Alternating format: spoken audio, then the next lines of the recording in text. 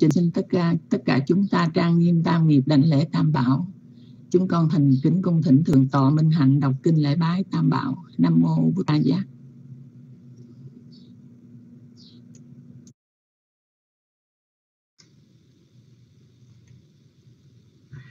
Nhất tâm đảnh lễ Đức Như Lai, bậc ứng cúng chánh biến tri, minh hạnh túc thiền hệ thế gian dạy vô thượng điều ngự. Thiên nhân sư Phật Thế Tôn. Nhất tâm đảnh lễ chánh pháp do Phật thiện thuyết thiết thực hiện tiền vượt ngoài thời gian đến để chứng nghiệm hiệu năng hướng thượng trí giả thân chứng. Nhất tâm đảnh lễ chư tăng đệ tử Thế Tôn bậc diệu hạnh, trực hạnh, như lý hạnh, chân chánh hạnh, gồm bốn đôi tám vị đáng nhận lễ phẩm, tặng phẩm, tế phẩm, kính lễ là phước điền vô thượng trong đời. Nguyện cầu với Đức Phật bảo, nguyện cầu với Đức Pháp bảo, nguyện cầu với Đức Tăng bảo. Xin Tam Bảo gia hộ ngăn ngừa mọi tai ương, những hiện tượng bất tường, những mộng mị sâu xa, những nghịch duyên trở ngại thảy đều mau tan biến. Nguyện muốn loài chúng sanh, người khổ xin hết khổ, người sợ hết sợ hãi, người sầu hết sầu bi. Biết cho với niềm tin, biết hỗ trì giới hạnh, biết là trú trong thiền. Chư thiên đã vân tập xin tùy hỷ phước lành được các tường như ý, rồi phản hồi thiên sứ. Chi toàn giác đại lực, chi độc giác đại lực, thinh văn giác đại lực, nguyện tổng trì quy đức, cầu phúc lành phát sanh.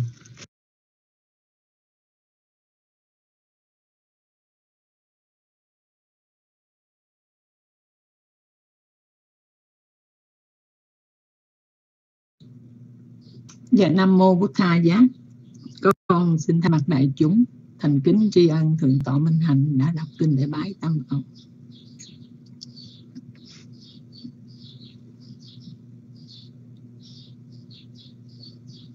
Và sau đây, con thành cúi đầu đảnh lễ ba ngôi tam bảo, đảnh lễ ngài thượng tọa giác đẳng. Và con kính cung thỉnh ngài dẫn nhập bài học hôm nay cho chúng con con không thấy thượng tọa tệ siêu. Và con kính dân đến ngài. Một thả giác.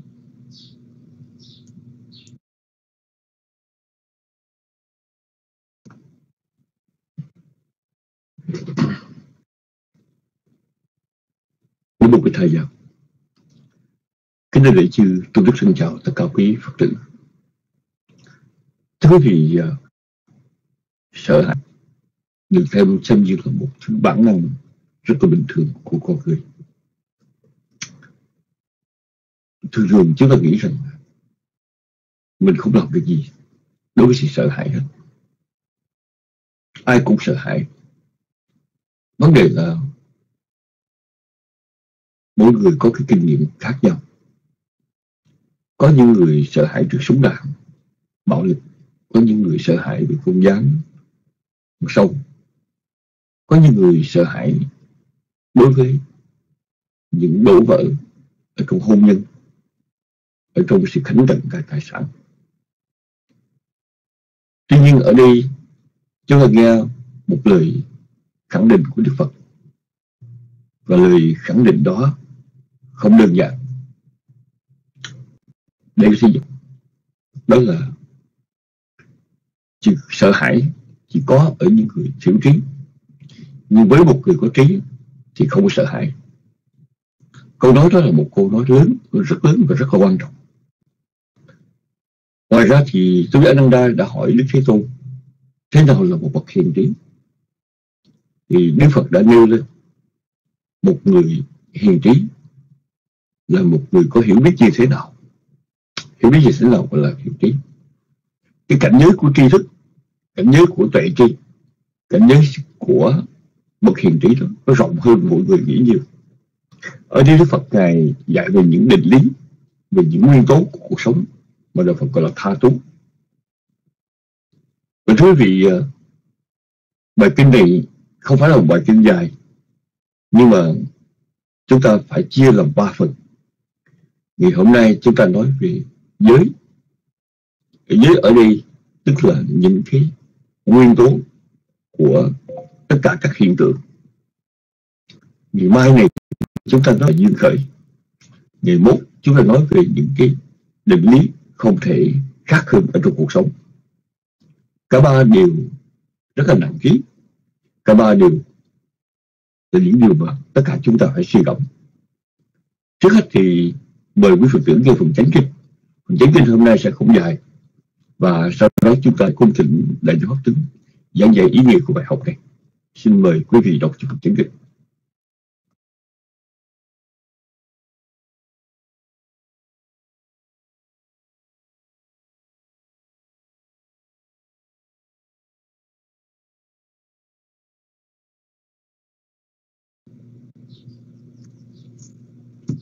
Dạ Nam Mô Bút Tha Giá. Con mặt đại chúng thành kính tri ân Thượng tọa giác đẳng, đã dẫn nhập bài học hôm nay. Dạ con, sau đây con Dạ kính cảm ơn quý sister đã cho biết tín hiệu. Dạ sau đây con xin tiếp tục đọc bài học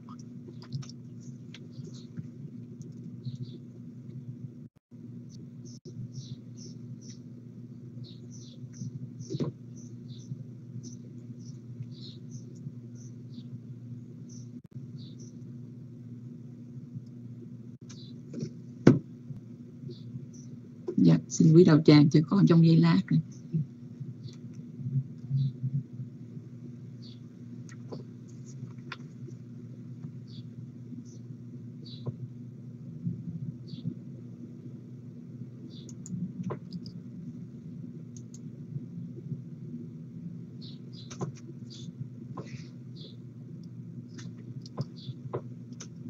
một trăm mười lăm kinh đa giới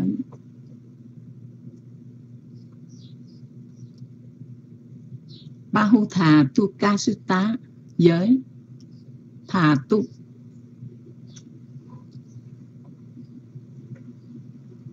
Ở đây có nghĩa là nguyên chất, nguyên tố, nội dung bài kinh nói về nền tảng căn bản của chánh trí.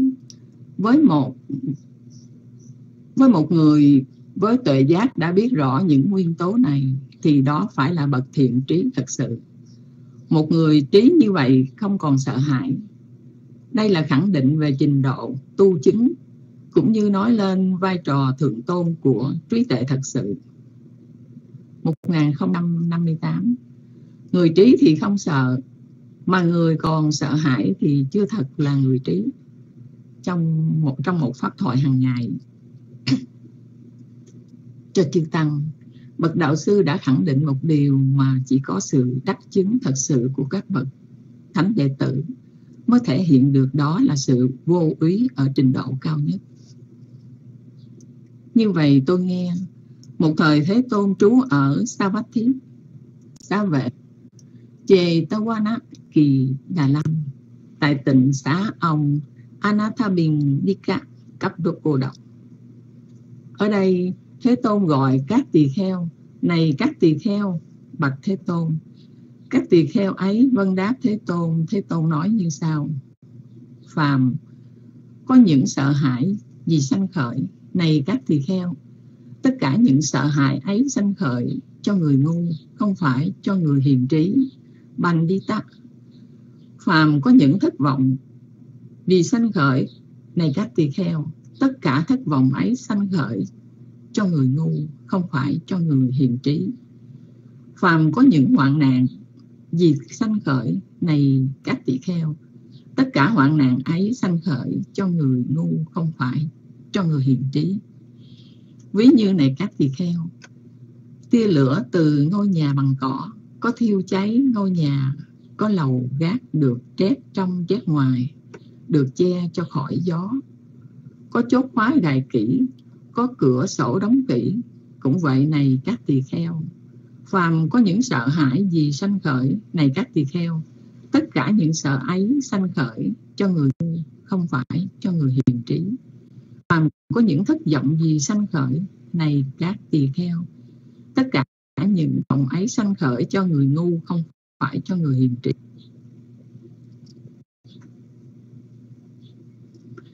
Phàm có những thất vọng gì sanh khởi, này các tỳ kheo, tất cả những thất vọng ấy sanh khởi cho người ngu, không phải cho người hiền trí. Phàm có những hoạn nạn gì sanh khởi, này các tỳ kheo, tất cả những hoạn nạn ấy sanh khởi cho người ngu, không phải cho người hiền trí.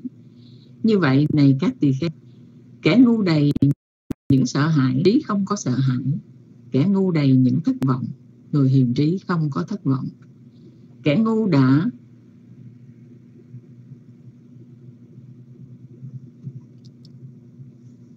kẻ ngu đầy những hoạn nạn, người hiền trí không có hoạn nạn. Này các tỳ kheo, không có sợ hãi cho người hiền trí, không có thất vọng cho người hiền trí, không có hoạn nạn cho người hiền trí.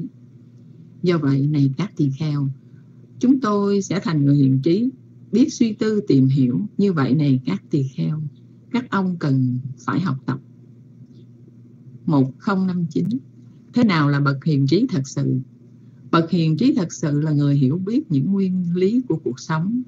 Khi được nghe nói vậy, tôn giả Ananda bạch Thế Tôn, đến mức độ nào bạch Thế Tôn là vừa đủ để nói? Tỳ kheo là người hiền trí, biết suy tư tìm hiểu. Cho đến khi này, Ananda, tỳ kheo thiện xảo về giới, xảo về tứ thiện xảo về duyên khởi và thiện xảo về xứ phi xứ đến mức độ như vậy. Này Ananda, là vừa đủ để nói.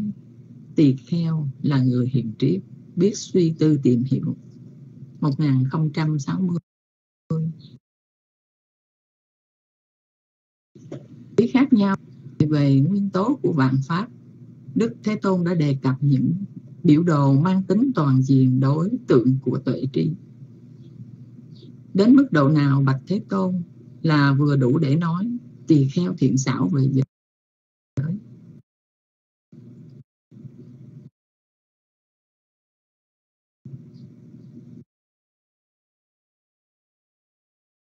Tám giới này, sắc giới giới, tỷ giới hương giới, tỷ thức giới, thiệt giới, nhị giới, thiệt tức giới, thân giới, xúc giới thân thức giới, ý giới, pháp giới, ý thức giới.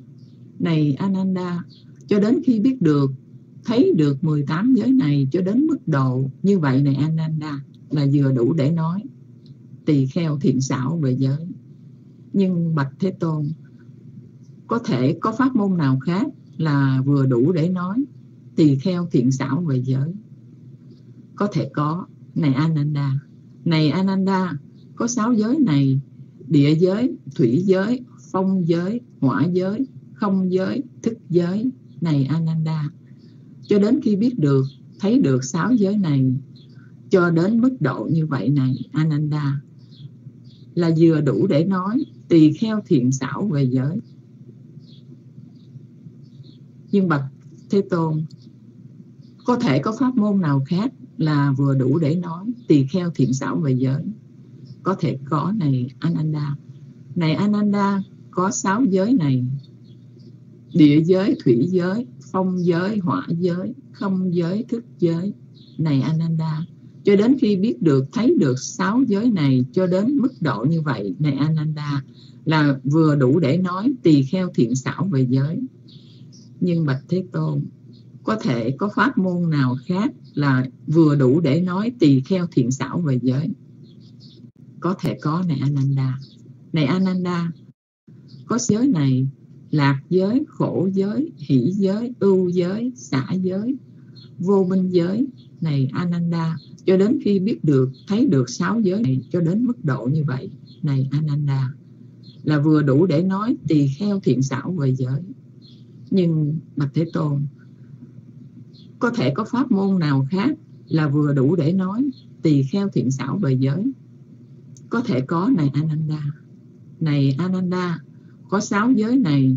Dục giới, ly dục giới, sân giới, vô sân giới, hại giới, bất hại giới. Này, Ananda, cho đến khi biết được, thấy được sáu giới này, cho đến mức độ như vậy, này, Ananda, là vừa đủ để nói tỳ kheo thiện xảo về giới. Nhưng bạch thế tôn, có thể có pháp môn nào khác là vừa đủ để nói tỳ kheo thiện xảo về giới? Có thể có này, Ananda. Này, Ananda, có ba giới này, dục giới, sắc giới, vô sắc giới. Này, Ananda, cho đến khi biết được, thấy được ba giới này, cho đến mức độ như vậy, này, Ananda, là vừa đủ để nói tỳ kheo thiện xảo về giới. Nhưng bạch thế tôn, có thể có pháp môn nào khác là vừa đủ để nói tỳ kheo thiện xảo về giới? Có thể có này, Ananda này Ananda, có hai giới này, hữu vi giới và vô vi giới. Này Ananda, cho đến khi biết được, thấy được hai giới này cho đến mức độ như vậy, này Ananda, là vừa đủ để nói tỳ kheo thiện xảo về giới. Và con đọc bài học đến đây. Là vừa chấm dứt.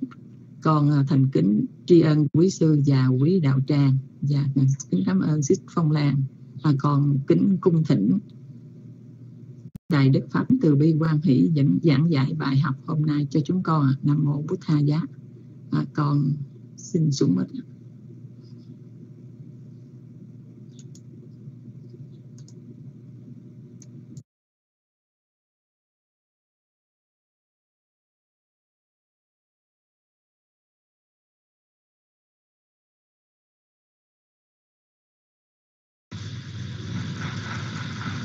sa thú sa thú lành thầy nam mô bích thà giá.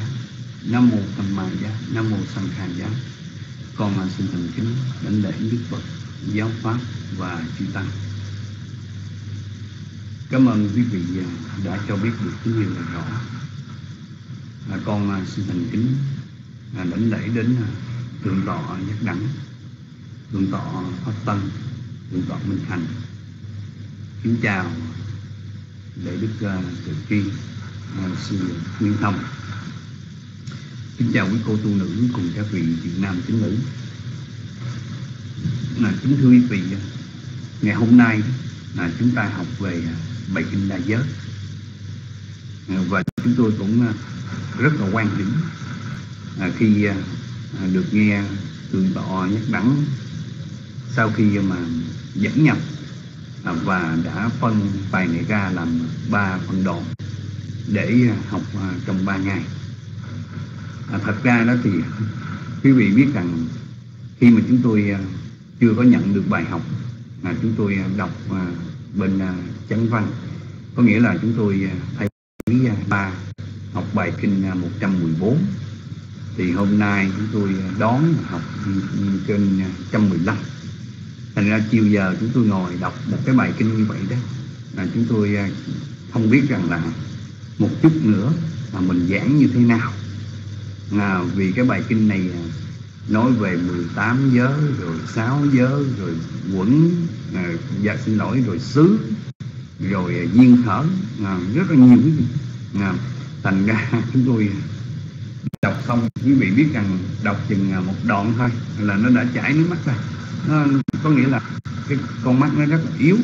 Ờ, và bài học thì ờ, cần phải tóm lược rất là gấp. Thành ra do vậy nha chúng tôi cảm nhận được là nó rất là mỏi à, mỏi mắt.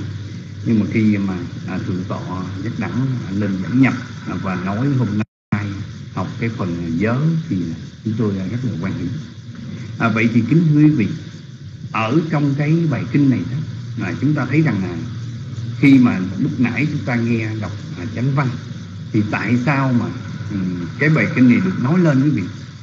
Có nghĩa là cái bài kinh này à, nói lên để cho chúng ta à, phân biệt à, chúng ta biết rằng là có những cái chúng sanh à, do có những cái chúng sanh đó, là họ họ bị à, cỡ lên à, những cái sự lo sợ à, cỡ lên những cái sự lo sợ hoặc là họ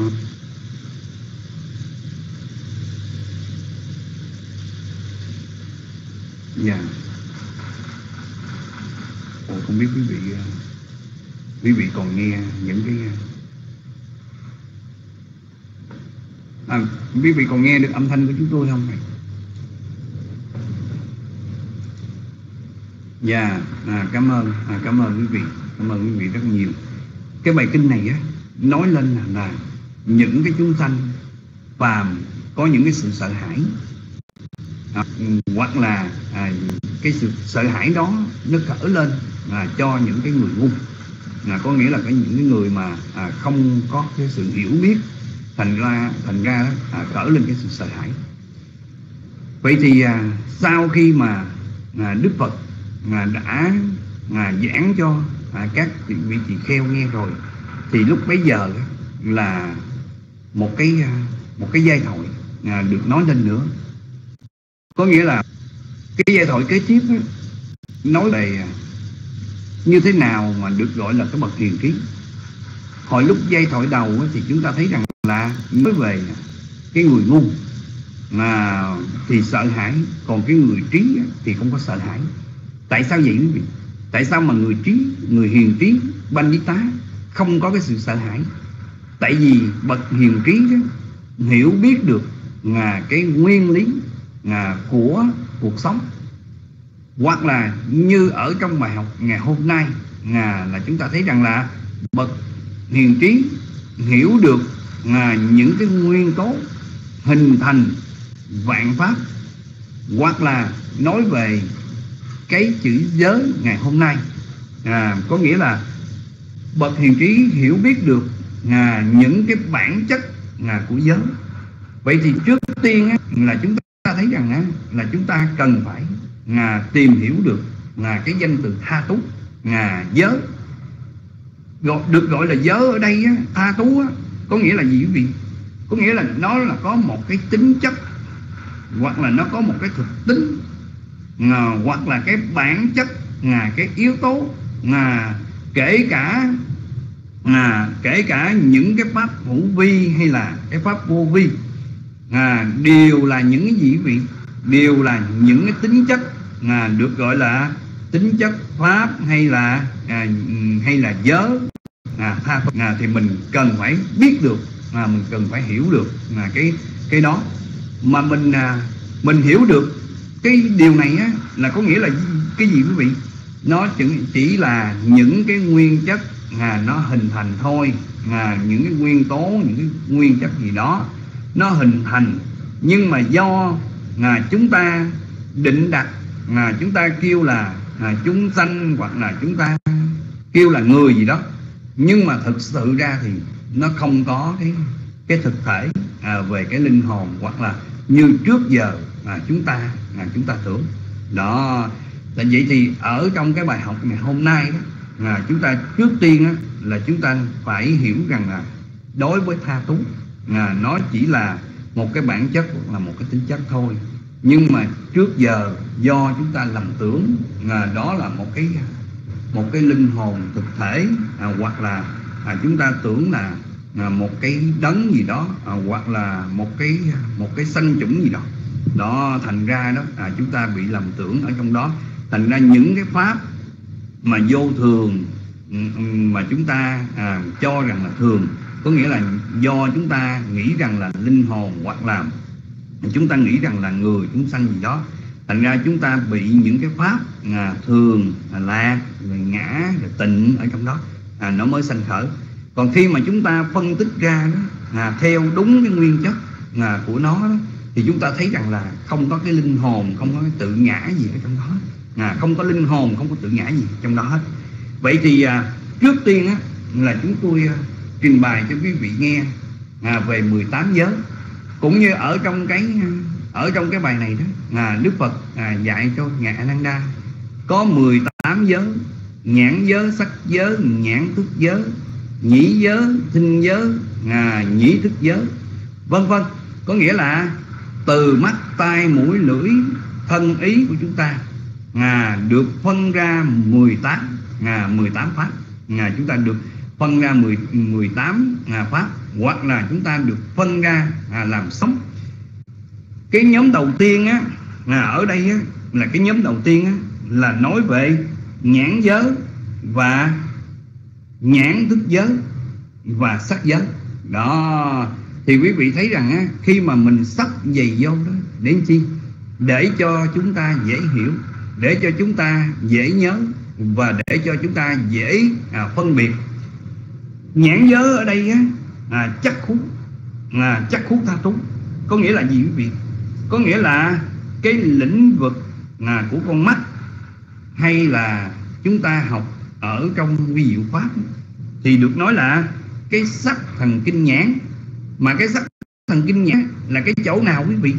À, là nó nằm sâu ở trong cái cái con người của chúng ta. À, nó nằm sâu ở trong người của cái con người của chúng ta. Để chi? Để nó tóm thâu cái hình ảnh gì đó. À, một cái hình ảnh đó một cái màu sắc đó hoặc là cái hình dáng đó hình vuông hay là dài hay là tròn gì đó. Đó thì cái cái cái hình dáng hoặc là cái màu sắc đó, đó là tức là chúng ta gọi là gì? Gọi là sắc giới à, hay là hay là chúng ta học gọi là sắc cảnh sắc. Đó thì hồi xưa giờ đó thì à, chúng ta thấy rằng thì mắt mình thấy thấy những cái hình ảnh đó thì mình chỉ biết vậy thôi. À, mình chỉ biết vậy thôi. À, chứ thật sự ra đó khi mà mình học à, mình nhờ có bậc đạo sư của chúng ta ngài đã phân tích cho, cho chúng ta nghe à, cho chúng ta thấy à, do chúng ta có cái sắc thần kinh nhãn à, mà ở trong đời sống thường ta à, kêu là con mắt. Rồi do có cái cái à, cái cảnh sắc. À, có nghĩa là có những cái màu à, hoặc là những cái hình dáng. Đó thành ra nó đi vào ở trong cái sắc nhãn của chúng ta. Có nghĩa là nó đi vào ở trong con người của chúng ta đó. Thì lúc đó, đó à, chúng ta thấy à, lúc đó chúng ta nhận biết chúng ta thấy được mà chúng ta thấy được cái à, cái cảnh sắc đó thì lúc cái sự thấy này á là cái gì? Là nhãn thức giới. À, là nhãn thức giới. Nhãn là cái sự thấy của con mắt là nó hình thành. Đó thành ra quý vị thấy rằng khi mà mình được đề cập như như vậy á, nó có rất là nhiều cái ý nghĩa.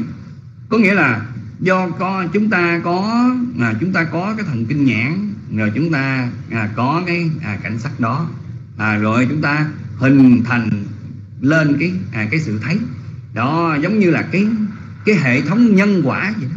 À, thành ra đó quý vị thấy rằng à, nếu mà mình thiếu một cái gì đó à, ở trong cái ở trong cái sự việc này thì chúng ta không thể nào là chúng ta thấy. À, quý vị thấy có những người tuy rằng người ta cũng, cũng có con mắt bị thấy người ta cũng có con mắt có con ngươi gì đó. À, nhưng mà do nó thiếu một cái gì đó à, thí dụ như là nó thiếu sắc thần kinh nhãn trong đó thành ra nó không có hình thành cái sự thấy được. Đó còn nói về á à, nói về à, cái ánh sáng hoặc là cái sự tác ý à, thì là à, cái đó, đó thì nói về cái cái hoàn cảnh hiện tại. À, ở trên nói về thiếu một cái một cái chi phần gì đó à, thành ra mình không có thấy. Đó vậy thì ở trong cái đầu tiên á, ừ, của 18 giới đó được nói đến ngài nhãn giới sắc giới nhãn thức giới. Thì chúng ta nghe những cái danh từ này chúng ta cảm thấy rất là khó. À, mình rất là khó nhớ. Nhưng mà khi mà chúng ta hiểu rồi đó à, thì chúng ta sẽ à, nhớ hoài. Có nghĩa là một cái một cái chấm nào đó một cái chút xíu mà cái chất ở trong cái con mắt mình thì cái chỗ đó là cái sắc thần kinh nhãn. À, rồi những cái hình dáng mà chúng ta thấy được hoặc là những cái màu mà chúng ta thấy được à, thì đó gọi là sắc giới. À, rupa túc có nghĩa là mình học về chi pháp là mình kêu sắc cảnh sắc đó. Đó rồi hai cái này nó gặp nhau. Thì khi mà nó hình thành cái sự thấy thì chúng ta chúng ta gọi đó là gì? Nhãn thức giới. Vậy thì nhãn thức giới này á là nó có mấy quý vị? Nó có hai. Có nghĩa là có khi chúng ta thấy à, cái, cái, cái cảnh đó à, nó cảnh tốt à, hoặc là có khi chúng ta thấy cái cảnh đó là cảnh xấu. Do vậy á, cái nhãn thức giới này á, nó có cái chi pháp nó là hai tâm nhãn thức. À, tâm nhãn thức thọ xả quả bất thiện. À, tâm nhãn thức thọ xả quả thiện.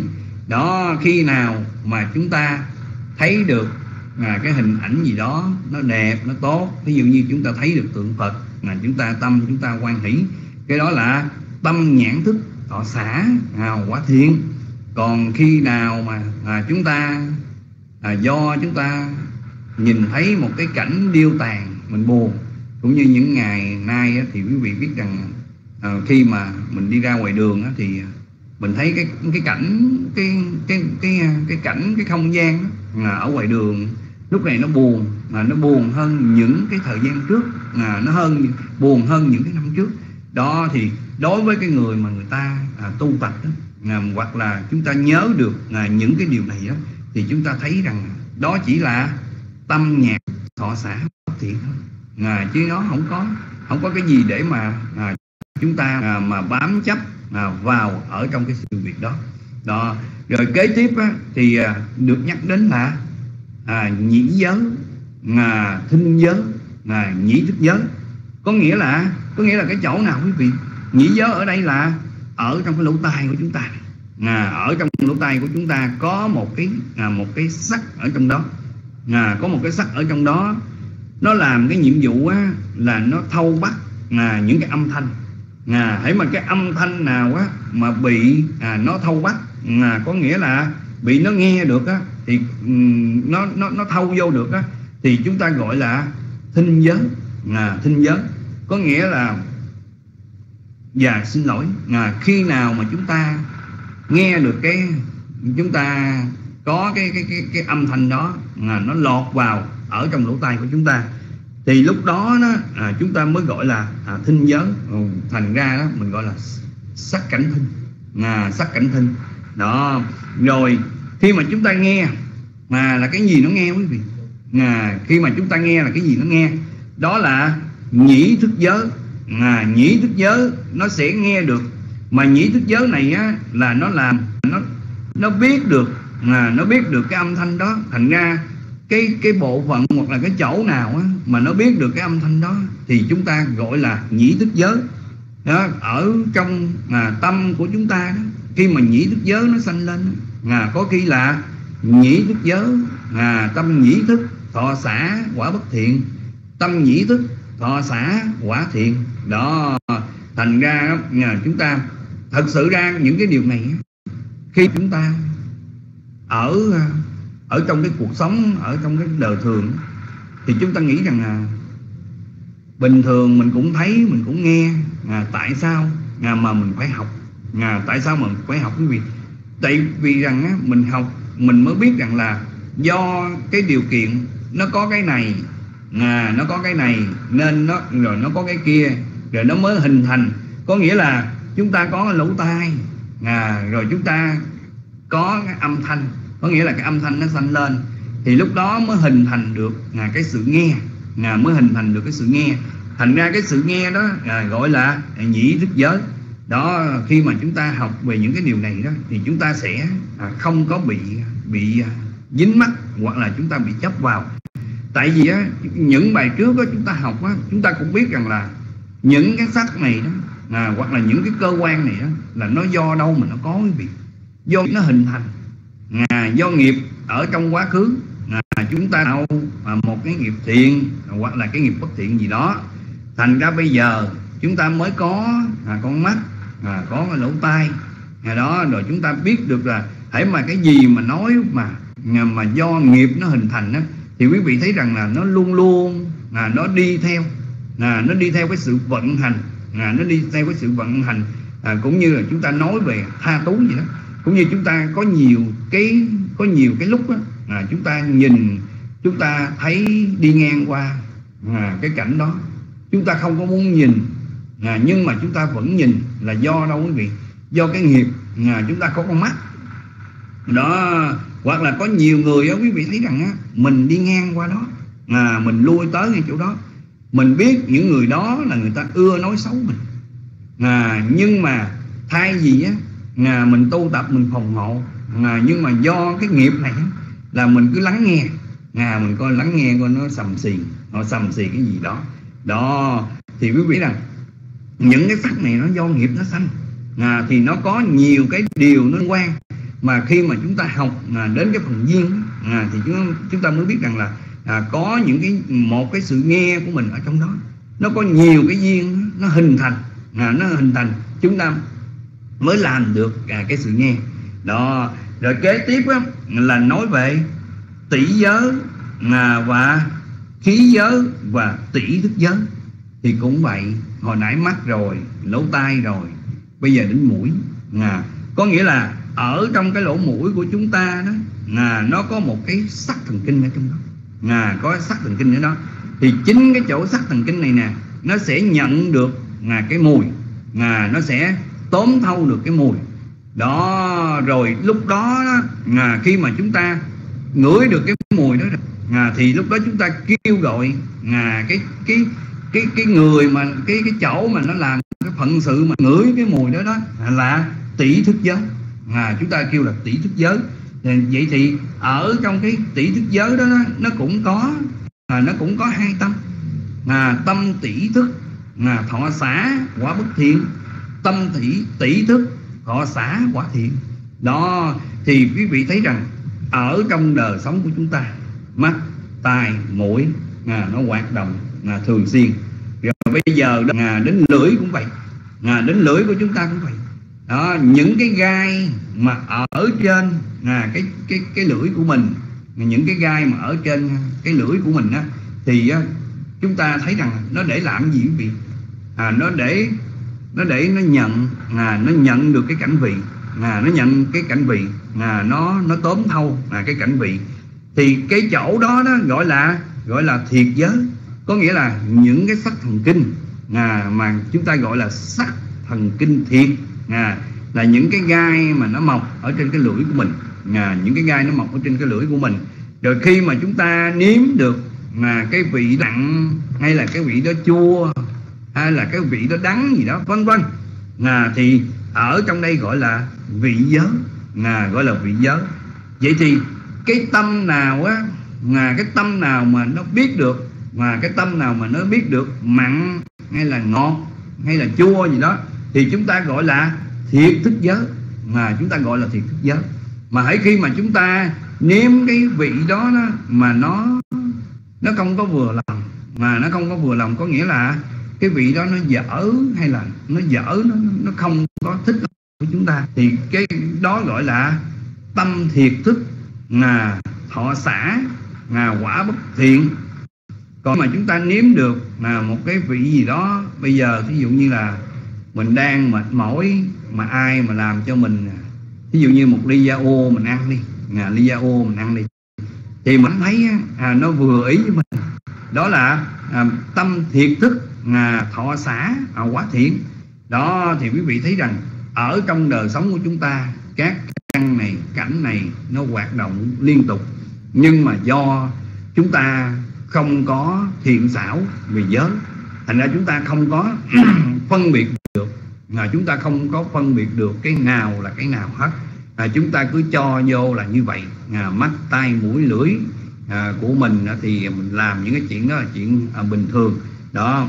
Rồi à, cái nhóm à, thứ năm nữa là cái nhóm nào? À, nói về mắt tay mũi lưỡi rồi. Rồi đến cái gì? Đến thân của chúng ta. Đó. Thân giới có nghĩa là như thế nào? Thân giới có nghĩa là những cái sắc thần kinh thân ở trên người của chúng ta trừ ra cái gì? Trừ ra ngay chỗ mà cộng tóc mà cái sợi tóc của chúng ta à, hoặc là ở ở cái cái cái phía ngoài của những cái móng tay của chúng ta. Thì ngay chỗ đó, đó thì nó không có biết được cái cảm giác thôi nó không biết được cái cảm giác thôi. Chứ ngoài ra thì nguyên cái thân của chúng ta chúng ta đều biết được à, cái sự à, cảm nhận à, mình biết được cái sự cảm nhận vậy thì cái sự cảm nhận đó, đó là, là do đâu quý vị? À, là do trên người của chúng ta có cái sắc thần kinh thân. À, có cái sắc thần kinh mà nó nằm ở trên thân của mình. Thành ra mình gọi là sắc thần kinh thân. À, nó chỉ trừ ra những cái chỗ mà chúng tôi nói á, ví dụ như sợ tóc à, hoặc là cái móng tay của mình hoặc là những cái chỗ phần nào da của chúng ta mà nó chai quá à, nó khô nó chai quá thì cảm nhận được thôi. Mà cái mà cái cái sự mà nó tiếp thu được à, cái cái cảnh vô đó à, là là cái đó, đó thì gọi là sắc thần thân thành ra đó nếu mà chia theo ở trong 18 giới thì cái đó gọi là thân giới à, gọi là thân giới. Vậy thì cái xúc giới á, ở đây á, có nghĩa là có nghĩa là cái gì quý vị? Những cái chất mà chúng ta đụng chạm được à, những cái chất mà chúng ta đụng chạm được chúng ta biết được à, vậy thì những cái chất đó là cái chất gì quý vị? Đất lửa gió. Mà đất lửa gió tại sao mà à, không có nước? Tại vì nước á, là quý vị thấy rằng á, đây là nó là một cái nói về một cái đặc tính. Là đặc tính chứ không phải nước mà mình rửa thường ở trong nhà mình à, sinh hoạt ở trong nhà bình thường. Đó thành ra đó ở nếu mà nói về nước á, à, thì thân mình không có cảm nhận được. Thân chúng ta không có cảm nhận được mà chỉ có những cái vị à, mà có cái tâm mà nó rất là vi tế thì những cái vị đó mới biết được là cái cái tính chất mà của cái nước mà mình đang nói. Đó. Vậy thì à, nói về à, những cái chất mà chúng ta mà thần kinh thân của chúng ta đó cái cái sắc thần kinh thân á, mà nó thu được á, à, thì chỉ có đất lửa gió. Đó thành ra cái đó chúng ta gọi là xúc giới mà gọi là xúc giới. Vậy thì cái mà nhận biết được cứng hay là mềm nóng hay là lạnh à, rồi à, di chuyển à, căn phòng đó thì cái mà nhận được à, nhận được cái à, cái cái cảm giác này à, cái cái cái cái tính chất này á à, thì cái đó là chúng ta gọi là thân thức giới. À, chúng ta gọi là thân thức giới.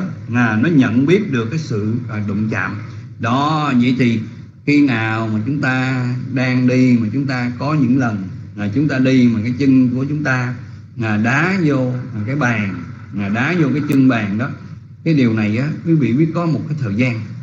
Có một cái thời gian đó chúng tôi không biết rằng là do mình mệt mình bị, nó chi phối về một cái cảnh gì đó là một cái giác quan nào đó. Thành ra nó nó nó mệt trong người. Quý vị biết rằng cứ đi, cứ sơ ý là đá chúng cái chân ghế hoặc là sơ ý đá trúng cái chân bàn. Biết rằng lúc đó những cái lúc đó nó rất là đau.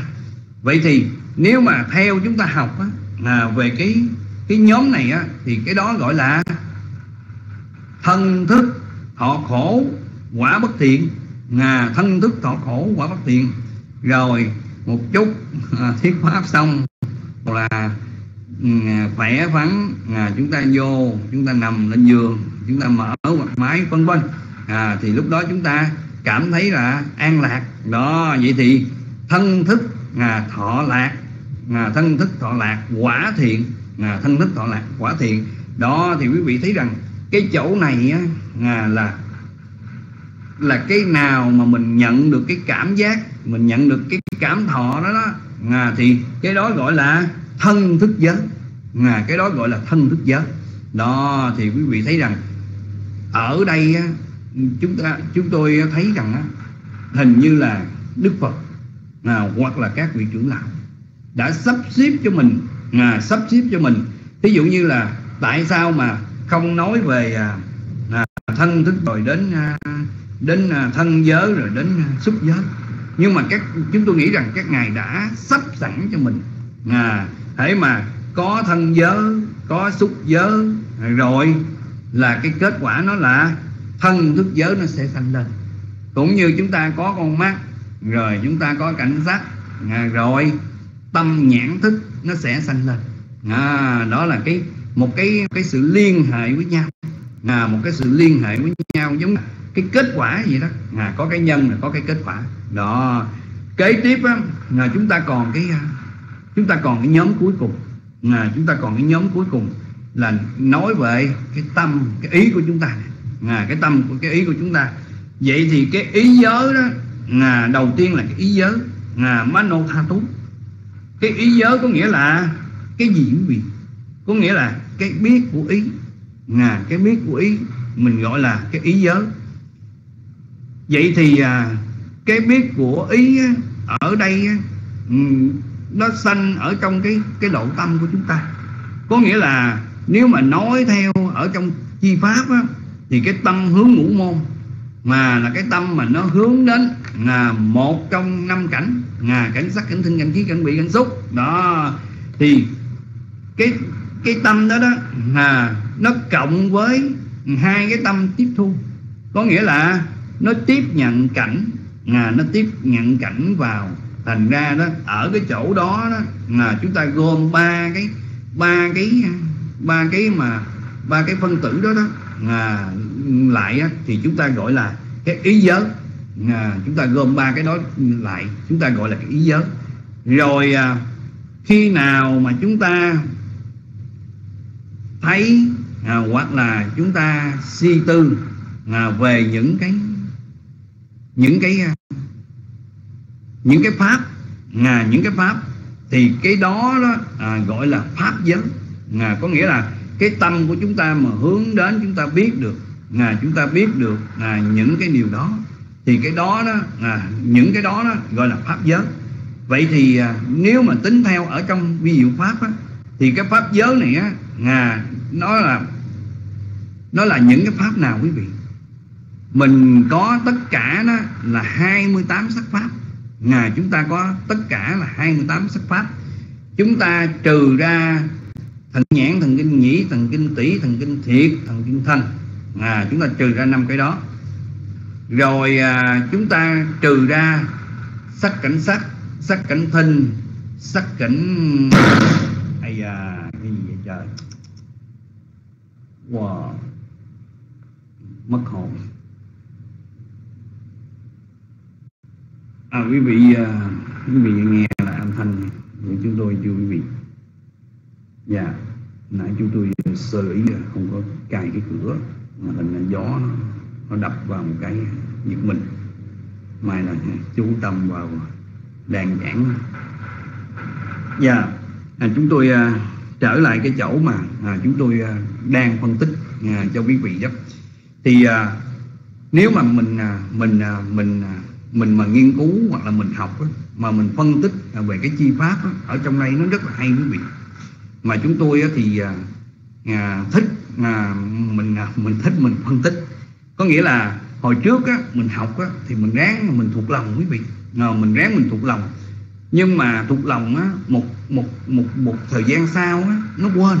À, một thời gian sau nó quên.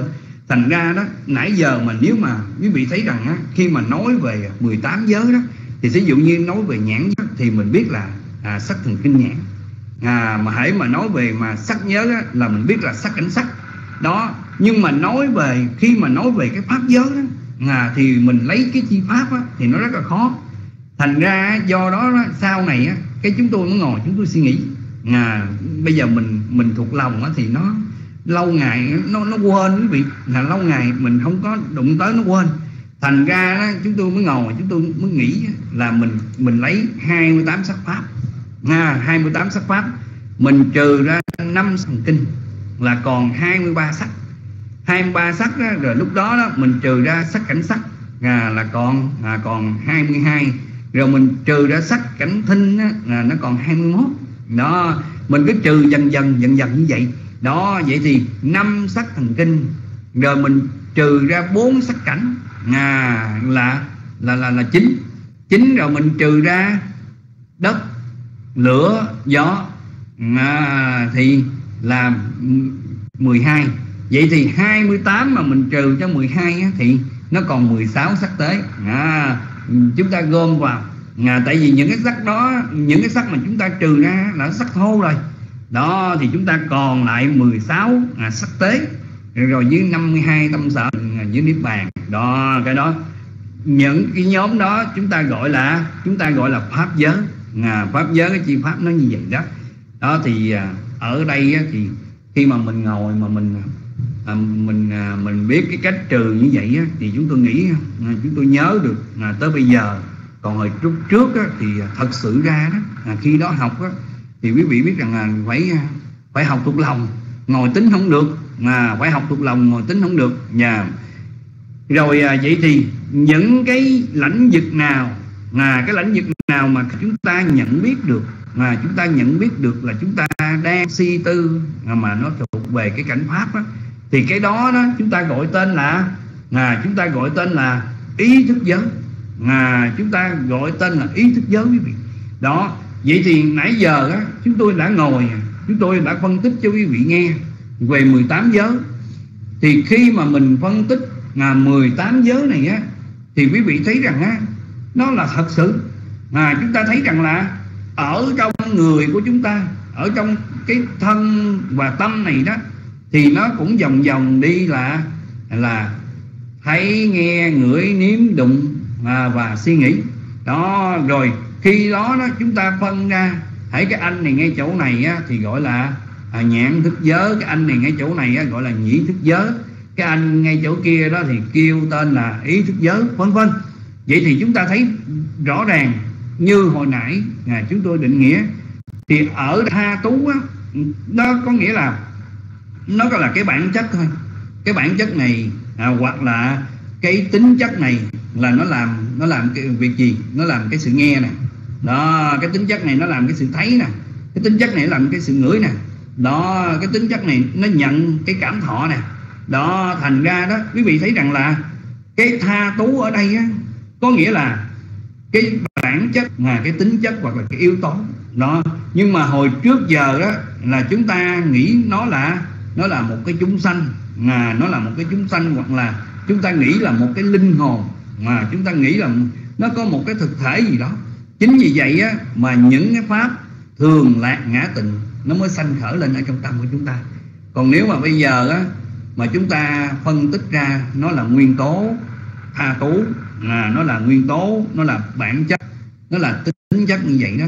Chúng ta có nghĩ nó là thường hằng không? À, hoặc là chúng ta có nghĩ là cái đời sống này là à, nó à, tràn đầy cái cái cái sự mà hỷ lạc không? Đó thì chúng ta chúng ta không có thấy được là cái điều đó nữa. Mà chúng ta nhìn những cái bản chất những cái nguyên tố này á, à, thì nó sẽ à, bị à, đổi thay. Đó. Vậy thì kế tiếp theo á, à, kế tiếp theo á, là chúng ta sẽ tìm hiểu về à, khi mà ngài Ananda ngài vừa nghe xong cái giai thoại này đó thì tiếp tục ngài ngài hỏi Đức Thế Tôn. Ngài hỏi Đức Thế Tôn à, có cái có cái cái cái cái sự thiện xảo về giới nào nữa hay không? Đó thì lúc đó Đức Phật à, mới thuyết cho ngài Ananda nghe về sáu cái bản chất là sáu cái bản chất của giới nữa. Đó thì sáu cái bản chất của giới này á, là cái gì quý vị? À, có nghĩa là địa giới thủy giới phong giới quả giới rồi không giới rồi thức giới.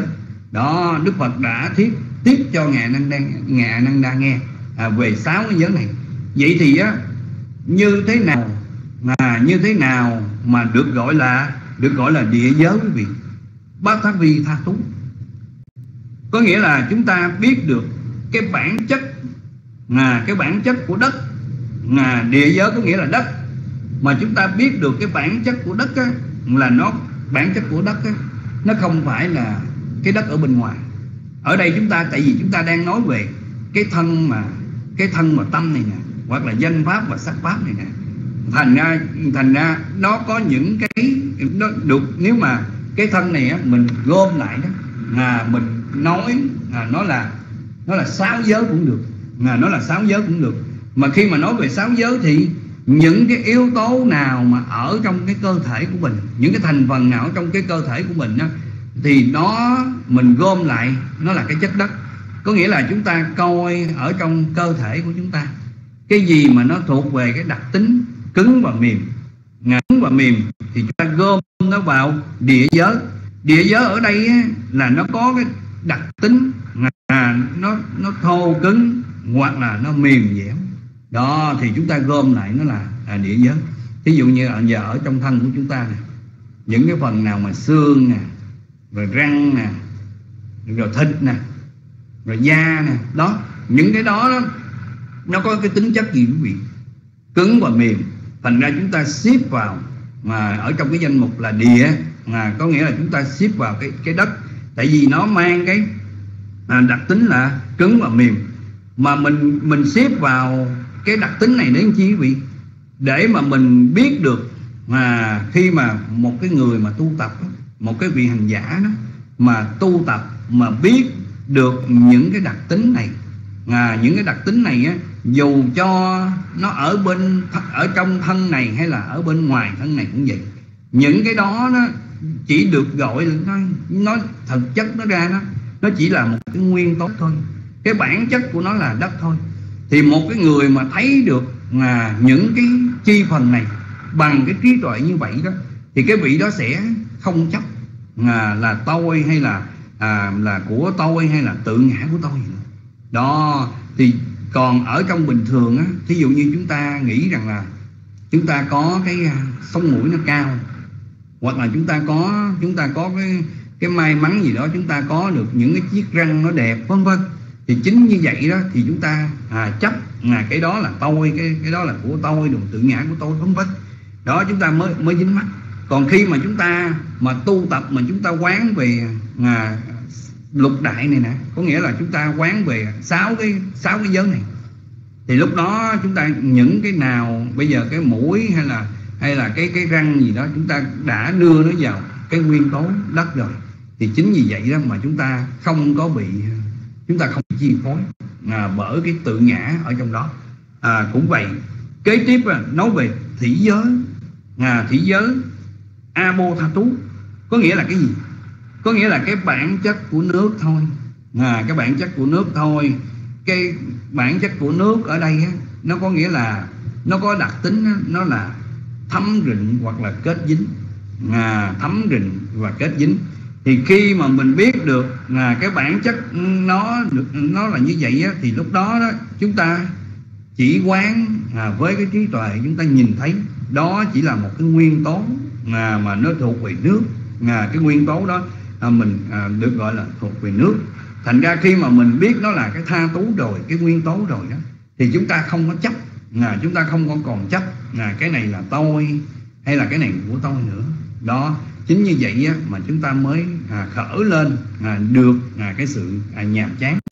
À, mình mới mình do mình có học những thì từ từ mình mới loại bỏ được à, những cái gì mà hồi xưa giờ mình chấp thủ những cái gì mà hồi xưa giờ mình cho là thường lạc ngã tịnh.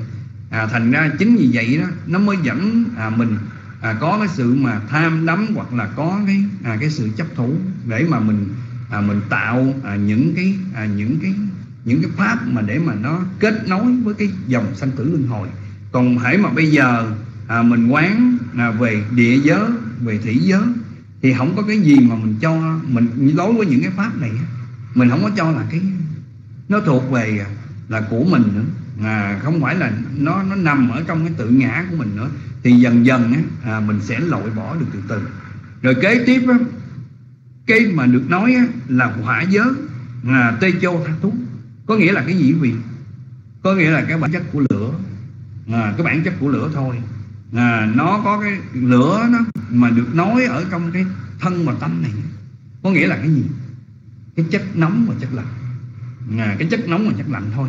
Thì với cái trí tuệ của mình mình biết được cái đó cái bản chất nó là như vậy. À, cái bản chất của nó nó là một cái nguyên tố lửa rồi nó chỉ có cái tính chất là nóng và lạnh thôi. Thì khi mà mình quan sát mà mình biết được bằng cái trí tuệ của mình thì lúc đó mình không có chấp vào là cái này là của mình là cái này là của tôi hay là tự ngã gì của tôi đó à, đó là do mình à, mình hiểu được. Rồi à, kế tiếp á, là cái phong giới qua vô tha tú có nghĩa là cái bản chất của gió mà bản chất của gió nó có cái gì quý vị? Ở trong thân của mình là cái cái hơi lên cái cái cái hơi à, cái hơi lên hơi xuống. Có nghĩa là cái sự mà à, phòng à, hoặc là giãn nở hoặc là di động đó đó là cái chất gió ở cái cơ thể của mình. Mà hãy mà cái chất gió ở trong cái cơ thể mình á thì nó cái bản chất nó cũng là tha tú. À, nó cái bản chất nó là như vậy thôi chứ nó không có cái cái gì mà mà mà để cho chúng ta có cái hỷ tham. Mà chúng ta sanh khởi nơi đó. Thì một người mà quán à, được như vậy đó à, thì coi như là người ta sẽ không có còn cái sự chấp thủ à, không có còn cái sự à, giữ cái này là của của tôi hoặc là à, tự ngã của tôi. Đó. Rồi à, kế tiếp là hư không giới. Hư không giới có nghĩa là akasa tha tú akasa tha tú này có nghĩa là cái bản chất à, của cái không gian của một cái khoảng trống như vậy đó là cái ranh giới à, của vật thể này của vật thể kia. Ở đây đó thì à, chúng tôi à, đọc à, những cái tài liệu à, mà ở trong vi diệu pháp đó, thì mình thấy rằng là ở trong cái cơ thể của mình nó đều có cái hư không giới này hết. Có nghĩa là tuy rằng những cái nguyên tố à, hoặc là những cái thành phần à, mà nó được cấu tạo ở trên da của mình đối với mắt thường á, thì mình thấy rằng à, nó kín mít như vậy. Nhưng mà thật sự ra nó nó cũng còn một cái khoảng trống à, giữa những cái những cái lỗ chân lông của mình à, ở trên da mình vẫn còn à, những cái chỗ trống. Nhưng mà do mình mình không có đạt đến cái trí tuệ mà nó siêu phàm thành ra mình không có thấy được à, những cái điều đó. Nhưng mà thực chất ra thì nó có à, thực chất thì ra thì nó có những à, những cái đó. Vậy thì cái khi mà một người mà hiểu được biết được cái hư không giới này đó để cho cái vị đó là sẽ tu tập là sẽ quán à, về ở trong những cái khoảng không cái khoảng trống đó, đó nó thuộc về mà ở trong thân mình hay là ở ngoài thân mình cũng vậy. Nó chỉ là một cái nguyên tố nó chỉ là một cái tha thú thôi. À, nó không có cái gì mà để mà cho chúng ta chấp vào đó. À, với một cái trí tuệ mà thấy như vậy đó à, cái này không phải là tôi không phải là của tôi không phải là tự ngã của tôi. Đó thì cái người này sẽ à, giảm đi à, những cái sự mà chấp thủ mà dính mắc à, về cái cái thân hay là à, cái tâm này. Rồi à, kế tiếp á, à, là là đến à, à, thức giới. À, kế tiếp là đến thức giới. Thức giới ở đây á, nguyên nha nát tha tú. Có nghĩa là cái bản chất là cái bản chất của cái bản chất mà cái bản chất của của tâm thức của mình. À, cái tâm thức à, có nghĩa là cái ờ, cái biết cảnh à, cái biết cảnh tức là gồm có tâm à, rồi ờ, à, tâm ờ, tâm nhãn thức tâm nhĩ thức tâm chỉ thức à, tâm thiệt rồi đó. À, thân thức ý giới ý thức giới đó. Đó thì nguyên một cái nhóm này gom chung lại mà được gọi là cái thức giới.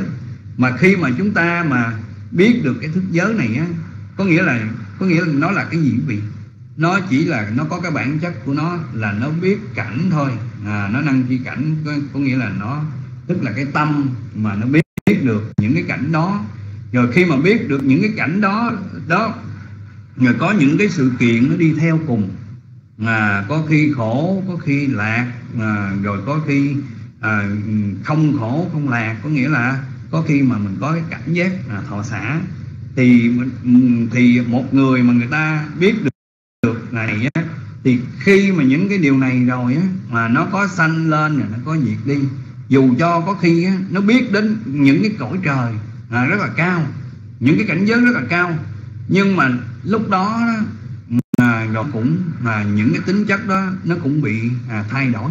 Có nghĩa là nó sanh rồi nó diệt nó sanh rồi nó diệt thì một người mà biết được mà khi mà chúng ta hiểu rõ được à, những cái điều này đó thì người ta mới tu để mà càng ngày người ta càng vượt qua.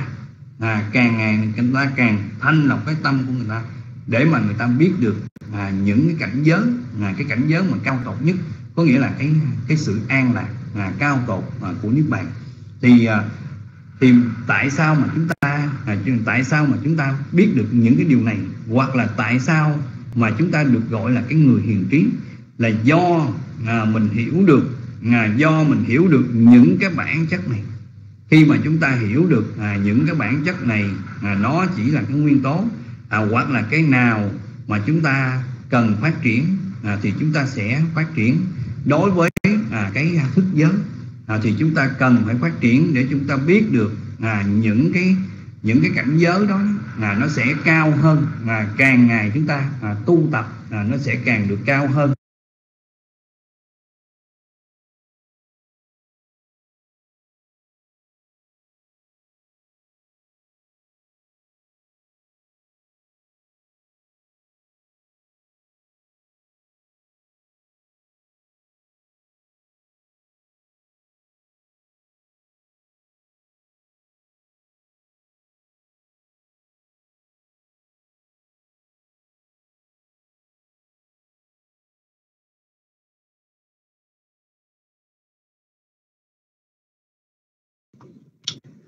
Để cho tính hoa kỳ xem lại biết ở trong rừng không còn nghe được nữa. Cái trình cho con tính hoa kỳ trở lại.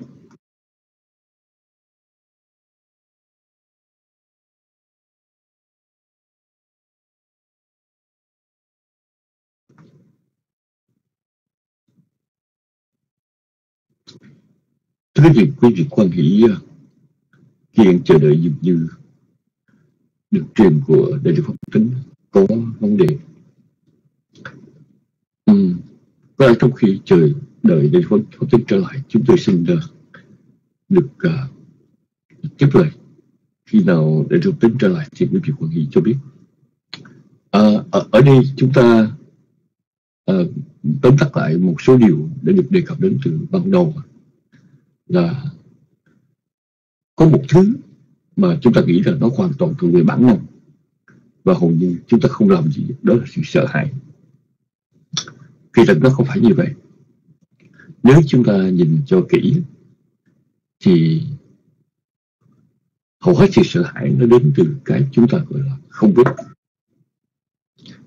Ví dụ như một người mới qua Mỹ, không biết rõ đường đi nước bước, không biết rõ cách sinh hoạt, không biết cách lái xe, không biết cách tiếp xúc, thì chúng ta luôn luôn sợ hãi. Và sự sợ hãi đó nó dần dà nó giảm thiểu hay nó tăng biến là do ở cái sự hiểu biết càng ngày của chúng ta càng rộng hơn, càng đa dạng hơn. Nếu chúng ta nhìn rất kỹ thì sự sợ hãi trong đời sống phần lớn nó đến từ sự thiếu hiểu biết. Giờ thấy định pháp tính đã trở vào rồi, không biết định pháp tính còn biết được không? Cái định định pháp tính trở lại tiếp tục cho bài bài giảng hôm nay.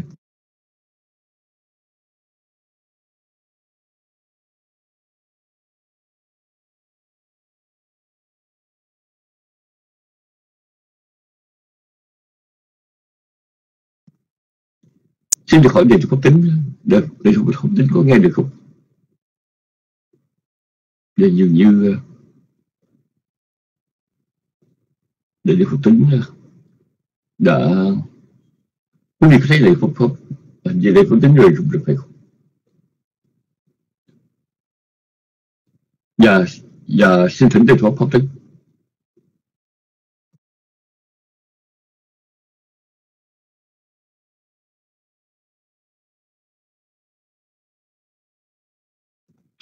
Cho nên vâng, thưa quý vị, chúng ta hãy kiên nhẫn chờ đợi trong giây lát để để phật tính sẽ trở lại.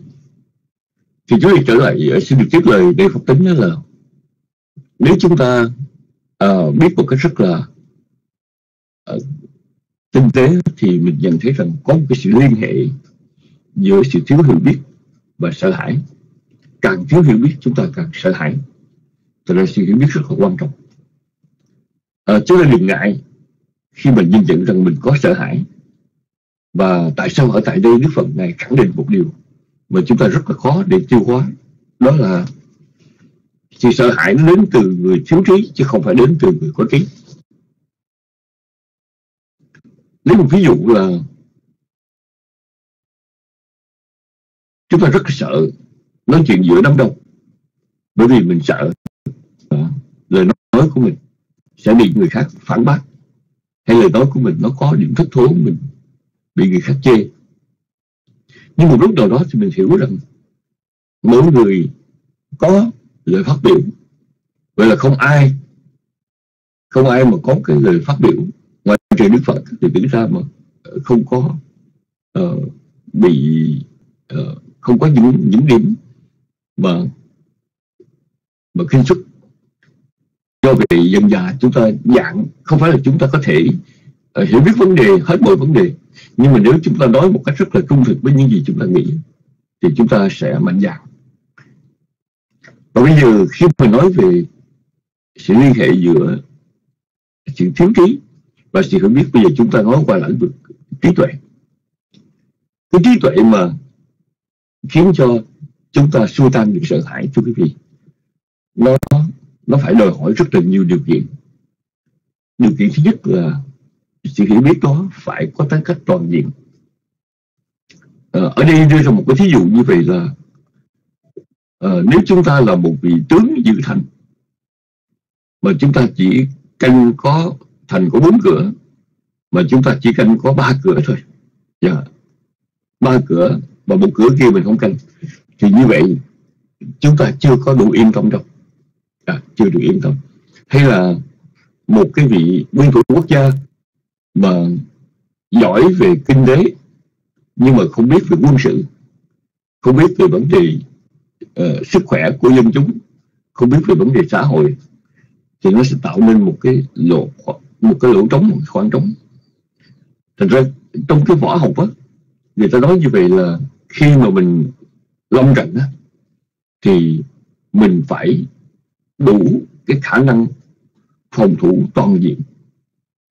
Và nếu chúng ta chỉ phòng thủ một vài cái một vài mặt rất là kỹ và mặt khác chúng ta bỏ trống thì điều đó đó nó sẽ mời mọc đối thủ tấn công vào cái chủ nhược của chúng ta.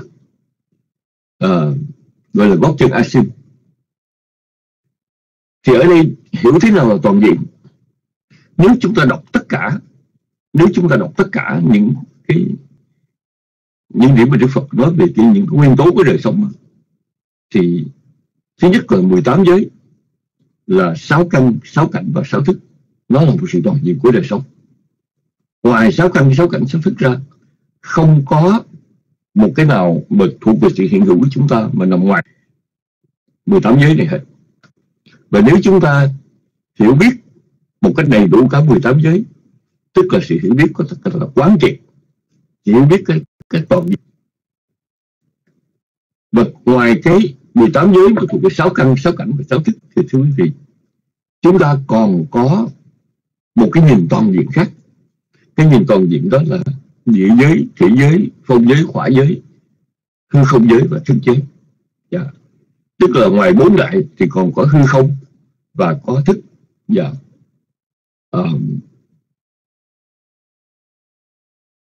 đây là một lĩnh vực đặc biệt của Phật học.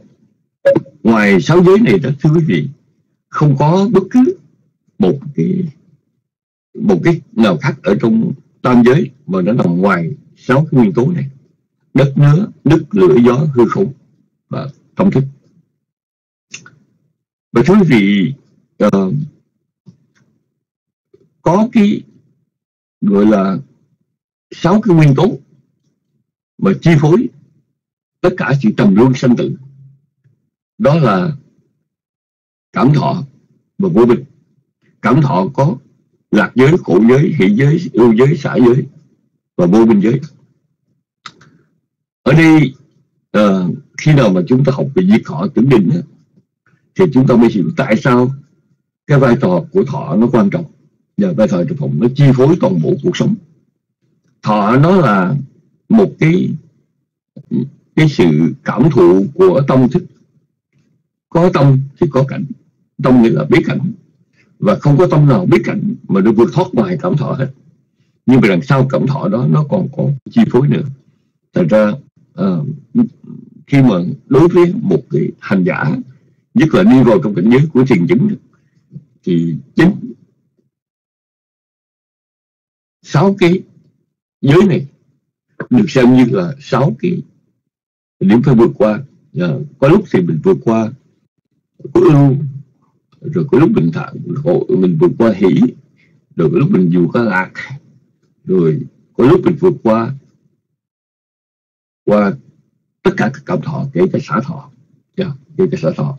Đạt đến uh, đạt đến cái cảnh giới uh, diệt thọ tưởng rồi cũng ở trong cảnh giới của tâm thức thì ở cái giới tâm thức Phật này chia ra làm hai. Gọi là tà tư duy và chánh tư duy. Tà tư là uh, tham độc sân dục uh, sân độc tham dục uh, sân độc và hại rồi vô vô tham vô sân và bất hại. Ba tà tư duy ba chánh tư duy. Ba trà tư tà tư duy ba chánh tư duy tức là một cách nói tổng quan toàn bộ cái gọi là tư duy về thế giới này. Có nhiều thì uh, chúng ta sẽ đào sâu vào. Nhưng mà uh, chúng ta sẽ nhìn thế giới một cách toàn diện qua cảm thọ và vô minh. Nhưng mà chúng ta cũng có thể nhìn thế giới này toàn diện qua cái hai cái cách chủ quan của chánh tư duy và tà tư duy. Và cũng có một cái nhìn toàn diện khác ở tại đây là dục giới, sắc giới và vô sắc giới. Yeah. Dục giới, sắc giới, vô sắc giới. Dục giới là tất cả những gì mà nó liên hệ hoặc xa, hoặc gần, hoặc trực tiếp, gián tiếp, liên quan đến thị giác thính giác, khứu giác, vị giác giác. Như là thế giới mà chúng ta đang sống tại đây. Sắc giới là nó liên quan đến cái gì và vượt lên khỏi dục giới bằng thiền chứng và đi vào cái thế giới của điện lực. Nhưng mà điện lực đó vẫn nương giá ở sắc. Và vô sắc giới là một cái điện lực vượt ra khỏi uh, sự nương giá của sắc. Là vô sắc giới. Một giới sắc giới vô sắc giới cái nhìn toàn diện. Và cũng nhìn toàn diện. Hữu vi giới và vô duy vi giới là những cái pháp mà do nhân do duyên tạo thành. Nó có sự kết cấu gọi là hữu vi hữu vi và cái pháp do không do nhân do vi duyên thì chúng ta gọi là vô vi vô duyên. Và vô vi và hữu vi đó, cộng lại đó, thì nó bao gồm cái mà chúng ta gọi là đệ nhất nghĩa đế hay những cái pháp, bởi pháp bản thể, thì nó cũng mang tính toàn diện. Và như vậy, ở trong cả những cái tiêu đề mà Đức Phật đưa ra tại đây, thì tất cả những tiêu đề này, nếu chúng ta đọc cho kỹ thì đều có mang tính cách toàn diện hết. Chưa vâng dạ thưa quý vị ờ, như vậy ờ, chúng ta thấy rằng sự sợ hãi đó, nó y cứu trên sự thiếu hiểu biết. Ờ, giống như là chúng ta sợ ma thì sợ ông kẻ. Hồi nhỏ ta bị hù sợ ma, sợ ông kẻ chúng ta không biết là ai. Chúng ta nhớ hồi còn nhỏ đó khi mà ừ, anh em chúng ta ở trong nhà đôi khi buổi tối nghe một tiếng dập động ở trên mái nhà. Thì ở trong nhà ta nói nhà đó là ma. Tôi giải thích là ma lấy đất trọi vô nhà. Tại vì nửa đêm mà ai mà lấy đất trọi vô nhà thì đó là ma. Và khi nghe nói như vậy thì ông ngoại của chúng tôi đó rầy bà ngoại chúng tôi bắt đốt đèn, lúc mà không có đèn pin. Mỗi đốt đèn dầu đốt đèn dầu lên. Thân mẫu chúng tôi rất là khó chịu khi ông ngoại bắt như vậy nhưng mà đốt đèn dầu lên ông phải bưng đèn dầu ra ngoài. Và ông ngoại cho cái gì đã rớt lên mái nhà thì thưa quý vị rất là dễ dàng tìm thấy là buổi tối nhà chúng tôi có nhiều cây mận và những con dơi cái sự nó ăn mận và đôi khi nó ăn mận nó tha đi thì nó rớt những cái mận ở trên mái nhà. Và tìm thấy những cái mận ở chung quanh sân nhà, cái mận tôi đó cũng xa thì ở tới ông ngoại, chúng ta nói rằng buổi tối có thể con chim nó ăn cái gì cho nó xa rớt mái nhà, thì mình không biết thì người đó có là ma. Nhưng mà kỳ thật tại vì mình không biết, thành ra mình nghĩ là ba mình tưởng tượng như vậy. Thì đa phần là cái sự sợ hãi của chúng ta đó, nó đến từ sự không biết. Hay là chúng ta đặt chân đến vùng đất lạ như là một người mới sang Hoa Kỳ, mà mình cứ sợ hãi, sợ là bởi vì cái gì cũng không biết hết đường xá không biết ngôn ngữ không biết luật lệ không biết. Uh, cách uh, giữ an toàn mình cũng không biết. Do cái không biết đến từ sự sợ hãi. Và chúng ta phải hiểu rằng càng hiểu biết thì chúng ta càng bớt sợ hãi. Đó là một điểm. Điểm thứ hai là chúng ta phải biết toàn diện. Yeah. Dạ. như hồi nãy chúng tôi có nói rằng một vị tướng mình giữ thành mà có bốn cửa thành mà mình chỉ thủ có ba cửa thì làm sao mình gọi là gọi là mình mình biết toàn diện được phải biết toàn diện đó. Nó là phải biết cái gì đó mình biết toàn bộ các pháp. Thí dụ như là một hành giả tu tứ niệm xứ thì biết có thân thọ tâm pháp là biết đủ cả năm quận. Hay là ở đây một người biết 10, 18 giới hay là ngày mai mình học về 12 xứ thì cũng biết là sự toàn diện. Tất cả những cái đề mục những chủ đề mà chúng ta học ngày hôm nay là dù là 18 giới hoặc là uh, uh, lục đại duyên khởi đất nước lửa gió hư không và tổng thức hoặc giả là lạc khổ ờ, ưu hỷ xã vô minh đều là toàn diện. Hoặc giả là uh, dục uh, dục giới uh, gọi là gọi là dục tư duy sân tư duy hại tư duy ly dục ly sân ly hại cũng là một đề tài mang tính cách toàn diện. Dù là dục giới sắc giới vô sắc giới cũng là đề tài cách toàn diện. Dù là hữu vi hay vô vi cũng là đề tài mang cái cách toàn diện còn ngoài sự toàn diện này thì một người có trí lại phải hiểu thêm là đó là những cái gì, gọi là nguyên lý. Nguyên lý của cuộc sống là gì? Nguyên lý cuộc sống là cái bản chất tự nhiên và ngày nay chúng ta gọi là định lý. Ví dụ như là người ta nói về trọng lượng là do cái sự hút, gravity, thì nó tạo ra trọng lượng hay hoặc giả là Archimedes? À, hay là người ta nói về cái cái nguyên lý là à, khi một chiếc tàu hay một vật thể nó nổi trên mặt nước tại vì cái khoảng mà chóm nước cái chỗ cái trọng lượng cái chỗ nó chiếm nước nó nhẹ hơn cái trọng lượng nước thì bắt buộc nó phải nổi. Thì đây là những cái nguyên lý của đời sống. Chúng ta không khen không chê không thích hay không thích mà bản chất của nó là như vậy. Và bản chất nó sanh phải diệt. Ví dụ như bây giờ mình cắt khoa vô bình chân mà mình đủ lớn đủ khôn rồi mình hiểu rằng hoa chân thì nó có nó có cái thời giờ cố định thôi. Một ngày hai ngày năm ngày bảy ngày. Chứ không nó thể là hoa chân mà tươi hoài. Không có chuyện hoa tươi tươi hoài. Một cái xe tốt kích mấy một cái điện thoại tốt kích mấy thì nó cũng xài một lúc nào đó. Và nếu mà mình nghĩ rằng mình mua cái đó tốn tiền như vậy đầu tư gì mà mình ăn đời ở kiếp rồi lúc nào nó cũng giống như vậy thì mình, cái đó là cái, cái ảo tưởng của mình.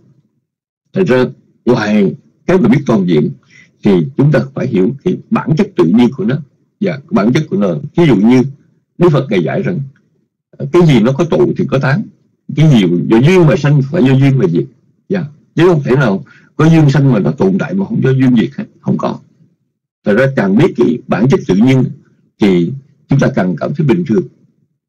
Một con người mà nghĩ rằng mình phải có đủ phước đủ tài mình đi vào cuộc đời này uh, Ờ, ở trong danh ở trong lợi ở trong sự va chạm mà mình sẽ mình sẽ tròn trịa mình xuân sẻ không có uh, không có bị uh, không bị chạm không có bị trầy xước. Uh, là cái chuyện mà mà khoan khoan được. Tại vì ở trong thế giới uh, gót danh lợi bùng phá sắc sám. Ở đâu mà có mật thì có ruồi ở đâu có danh có lợi thì ở đó có tranh danh đoạt lợi. Và ở đó có thị phi có phiền não và bảo rằng mình dấn thân vào trong đó mà không có thì không phải. Thành ra một người biết được bản chất tự nhiên à nó là như vậy đó nó không thể khác hơn được. À, à, cái pháp đó là như vậy không thể khác hơn. Cái cái bản chất của cuộc sống là như vậy không thể khác hơn. Mình biết như vậy thì mình bớt sợ hãi. Cái đó rất là quan trọng thành ra không phải chỉ biết toàn diện mà còn biết được cái bản chất tự nhiên và biết bản chất tự nhiên của sự vật. Và thưa quý vị một cái người có trí không phải chỉ biết cái ngọn mà còn biết cái gốc cái gốc ở đây chúng ta gọi là tha trú. Dạ, tha trú. À, biết biết cái biết cái gốc ở đây biết cái biết cái nguyên lý ở tại đây nó nó khiến cho chúng ta không có một cái nhìn hơi hợt về cuộc sống. Đa phần là chúng ta chỉ biết có bề ngoài. Ờ, à, nhiều bà ngày xưa có than là hỏa hổ hỏa bì năng hỏa cố tri nhân tri diệt bất tri tâm nhiều khi mình mình có thể biết con cột mình chỉ biết cái mình vẽ con cột vẽ cái, cái, cái hình ở bên ngoài vẽ bộ lông ở bên ngoài chứ mình đâu có biết cái, cái xương ra sao. Và thì nhưng mà bây giờ ờ, tôi vừa học học còn có bộ xương chứ ngày xưa đó ờ, người ta không biết ở trong bộ xương nó thế nào. Ờ, từ trừ khi mình bắt cột mình mổ ra được sẽ được mình thấy bộ xương đó. Có người về nhìn ở bên ngoài thì biết mặt mũi à, à, cao thấp trắng đen đẹp xấu nhưng mà không biết cái lòng của người ra sao. Thì cái biết chỉ có bên ngoài cái biết chỉ cái ngọn mà không biết cái gốc cái biết chỉ là cái nhìn mang tính cách là uh, trực diện ngoại hình mà không biết được thực chất thì nó không làm cho chúng ta hạnh phúc. Chúng ta phải biết cái thực chất của nó. Dạ phải biết thực chất. Ví dụ như là uh, con người chúng ta sống thì mình hay nặng về cái vui buồn nhưng mà nếu chúng ta hiểu rõ đó là khổ là ưu hỷ xã nó vốn là những cảm thọ không thể không có trong đời sống. Và khi mà nói khổ là ưu hỷ xã đó thì chúng ta có sống và có để ý đó, đó thì ai cũng có những cái cảm thọ này. Và cảm thọ này nó có sanh nó có diệt nó có đến đi và chẳng những có sanh có diệt có đến đi mà nhiều khi chúng ta thường khi chúng ta không làm chủ nó biểu nó như thế này khoảng định thế kia thì không được và khi mà chúng ta thấy cái nguyên lý của cảm thọ rồi đó, thì nó tốt hơn là ờ, chúng ta cứ chạy theo bên ngoài đó. Tôi cần nghe một bản nhạc hay tôi mới vui tôi cần nói chuyện với một người tri âm tri kỷ, tôi mới vui tôi cần thế này, tôi cần thế khác. Ờ, chúng ta nói bên ngoài để chúng ta chưa hiểu. Dạ, chúng ta chưa hiểu. Giống như là mình bị bệnh mà đau đâu thì đó, mình không biết được cái gốc của vấn đề. Không biết được gốc của vấn đề thì thường chúng ta có vấn đề. Dạ chúng ta phải biết sâu xa nguồn gốc của nó bởi vì ờ, ngày xưa đó người ta ở trong cái những người chủ nghĩa di vật họ thường hay nói đến cái cái bản chất về hiện tượng. Và hiện tượng về cái gì uh, phương nổi cái gì nổi ở bên ngoài cái gì uh, cái mặt bên ngoài chúng ta biết những cái bản chất gốc nhưng mà họ nói như vậy nhưng mà họ hiểu theo một cách khác. Ở trong đạo Phật cũng dạy chúng ta rằng có cái pháp gọi là thamata hay là thực tướng hay là pháp tánh của sự vật cái pháp tánh hay tự đánh của sự vật. Rồi cái mà chúng ta phải hiểu hiểu có dấu hiệu uh, đơn giản ở bên ngoài được. Uh, ví dụ như là uh, có những người họ ăn cái món ăn họ cầm món ăn họ ăn rồi ăn họ ăn thì nó ngon như vậy nó bùi vậy nó béo như vậy. Nhưng mà thật ra nó họ biết thì họ biết hết. Họ biết là tại sao nó bùi tại sao nó béo tại sao nó thơm. Mà họ phải nguyện hiểu cái, cái, cái nguyên tắc nguyên tắc chính phải phải vận dụng phải sử dụng cái nguyên liệu như thế nào phải có cách nấu như thế nào phải biết được cái thời gian nóng như thế nào phải biết gia giảm lên nếm như thế nào vân vân. Thì ờ, mấy cái những cái đó những, những cái nguyên tắc chính những cái căn bản mà một người hơi ở bên ngoài họ không thấy được. Và do vậy một trong những cái đặc điểm của người ở trí là biết vấn đề có chiều sâu. Không phải chỉ biết toàn diện không phải biết một cách tự nhiên mà còn biết có cái chiều sâu biết cái gốc chứ phải biết cái ngọn biết cái thực tướng của nó thực tánh của nó chứ không phải chỉ biết cái bên ngoài. Và một điểm khác mà đối với người có trí thì thưa quý vị đối với người có trí là một người mà sống tìm cách để hiểu và chấp nhận tự nhiên hơn là chống chết hơn là miễn cưỡng hơn là đòi hỏi. À, đưa cái tưởng tượng như vậy là thời tiết bây giờ nó có những cái bất thường. Mà mình cứ lúc nào mình cũng cầu mong cũng giái gian làm sao. Có những người bái vang làm sao? Trời trời trời đẹp hoài trời nóng hoài trời thế này thế kia. Mà khi mà gặp những cái vô thường những cái bất thường thì chúng ta khổ. Dạ yeah, chúng ta khổ. Là tại vì chúng ta có một cái một cái ý muốn đi ngược lại với tự nhiên. Cái ý muốn đi ngược lại làm cho chúng ta khổ làm cho chúng ta nuôi dưỡng nuôi dưỡng cái kỳ vọng và nuôi dưỡng kỳ vọng làm cho chúng ta đâm ra đâm ra sợ. Dạ yeah, đâm ra sợ. Tại vì chúng ta cần mong mỏi. Ví dụ như bây giờ uh, sáng hôm nay thưa quý vị uh, tối qua chúng tôi có đọc một bản tin và của một số những nhà nghiên cứu về bệnh dịch đó. họ là những người rất có uy tín. Thì họ nói rằng bệnh dịch đó, và những cái hệ lụy của bệnh dịch uh, corona nó không đi một sớm một chiều được mà nó sẽ phải tồn tại ở trên trái đất này ít nhất trong vòng từ 18 tới 2 năm nữa. Và trong vòng 2 năm đó nhân loại phải sống với bệnh dịch. Và một con số điều kiện mà tôi cho thấy rằng riêng đất nước Hoa Kỳ thì cái số người bị lây nhiễm nó sẽ lên tới từ 60 tới 70 phần trăm. Yeah, 60 70 phần trăm sẽ bị lây nhiễm. Ờ, ở trong vòng 2 năm tới. Và ở trong 60 70 phần trăm đó thì có tối thiểu từ 5 chưa đến 7 phần trăm người chết, người lây nhiễm người bị chết. Dạ. tức là chúng ta nói rằng dân số Hoa Kỳ là 340 triệu, thì cái sự lây nhiễm nó phải trên 200 triệu 200 triệu người. Và ở trong số 200 triệu người thì ít nhất cái số người chết là phải trên 10 triệu người. Con số rất là dễ sợ, chứ không có đơn giản rất là lớn chứ không nhỏ. Và đó là một điều mà tất cả mọi người phải chuẩn bị chuẩn bị để sống với bệnh dịch và chuẩn bị để hiểu rằng những người thân của mình dạ, những người thân của mình rồi sẽ có nhiều người mất. Và bản thân của chúng ta chưa chắc là chúng ta đã sống qua bệnh dịch này. Dạ. cho đến khi mà có cái thuốc chống ngừa thực sự đưa ra thị trường thuốc trị liệu mà thực sự có có kết quả ra thì tốt kết quả tốt thì chúng ta phải sẽ trả một giá rất đắt. Chưa kể những cái suy thoái về kinh tế ảnh hưởng xã hội ảnh hưởng về chuyện đi lại bao nhiêu thứ. Vì vậy uh, uh, hầu như là một chuyện chắc chắn là một cái một cái sự bùng phát lần thứ hai sẽ xảy ra vào cuối năm nay vào mùa thu và mùa đông này. À, nếu bây giờ mà chúng ta có thì giờ chuẩn bị những gì cần thiết như là khẩu trang à, như là à, những gì mà bảo vệ chính mình và kể cả đổi lối sống chung là rất là tốt. Bởi vì không có ai mà có thể à, có thể à, thấy được là cuối à, cuối tháng tư tháng 5 tháng 6 tháng 7 này mà đại dịch có thể đi khỏi hết.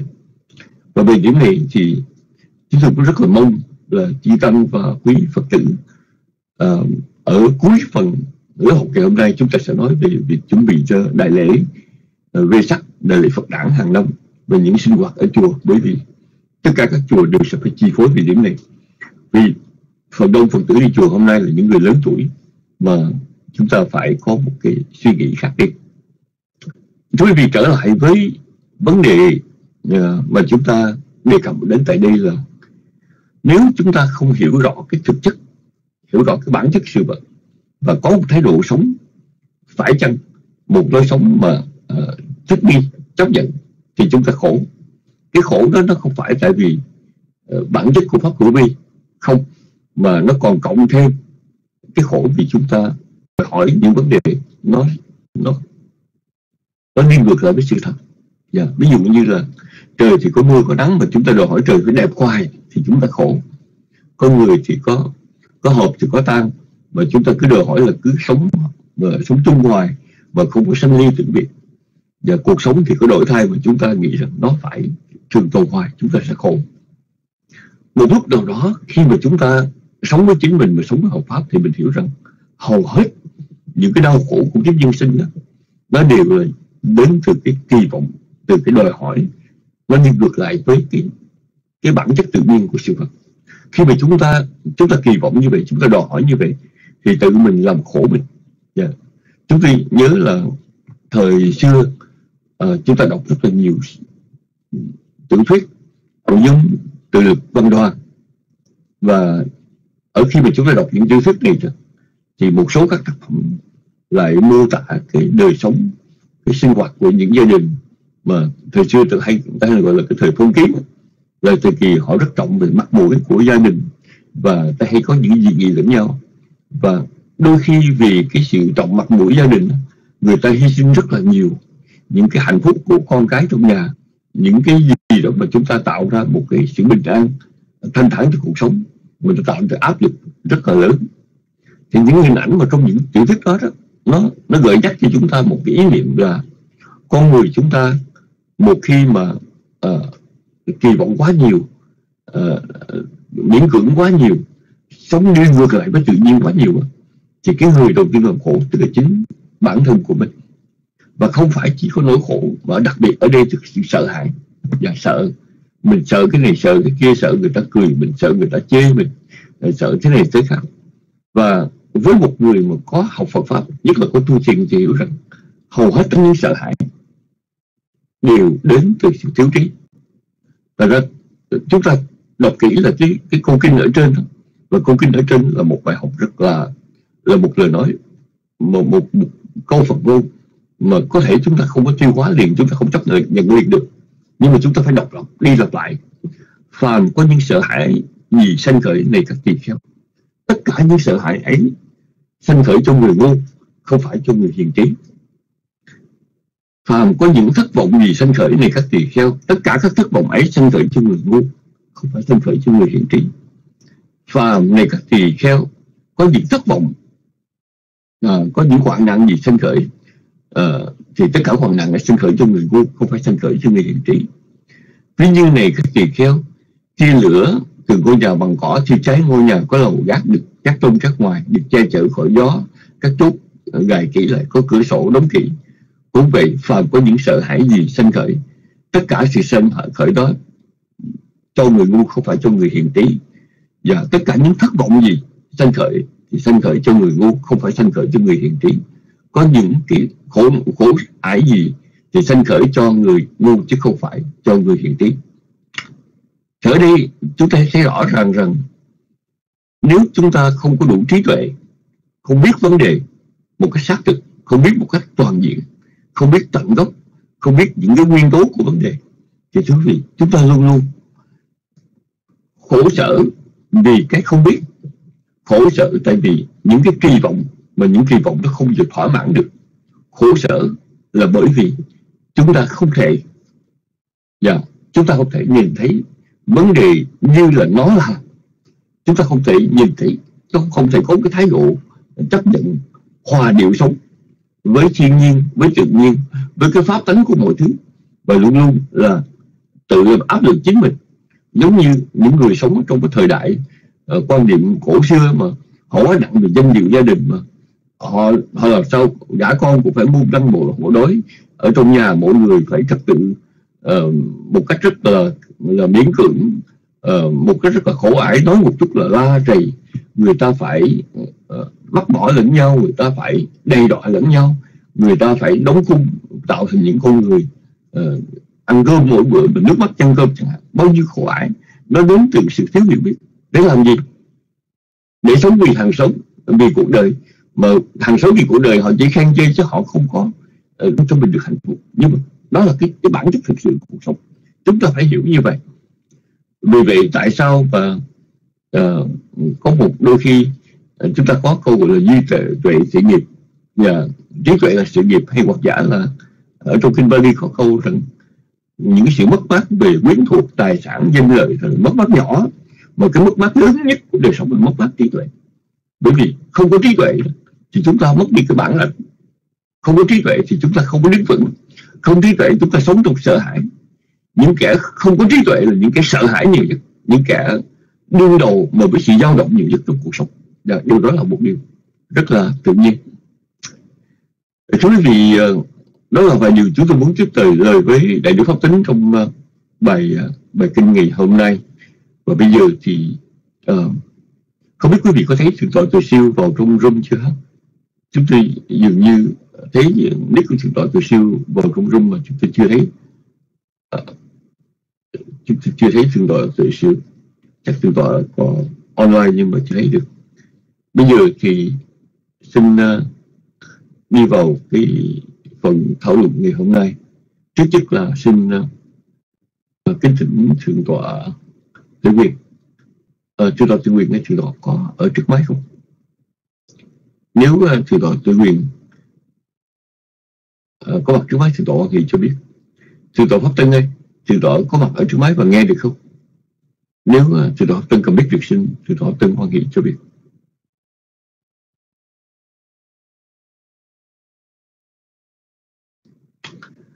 sư Nguyên Thông Mê Ô dạ thấy sư Đạo Tân sư Đạo Tân quan hệ nói cho vài lời ở trong lúc chọn các câu thảo luận ở kiến trình như tổ học tân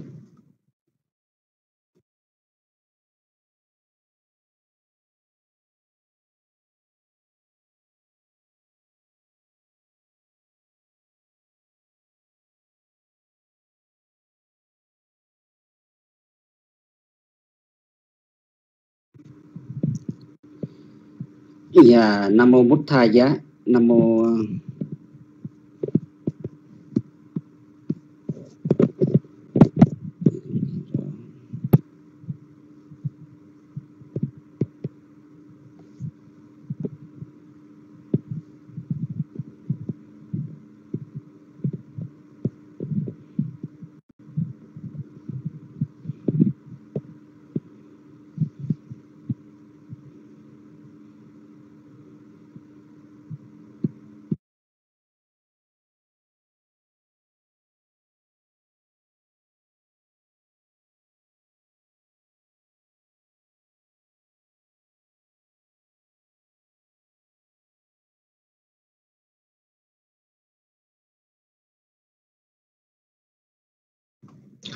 Sư tổ Pháp Thân quan hệ xem là biết ở trong room không còn nghe được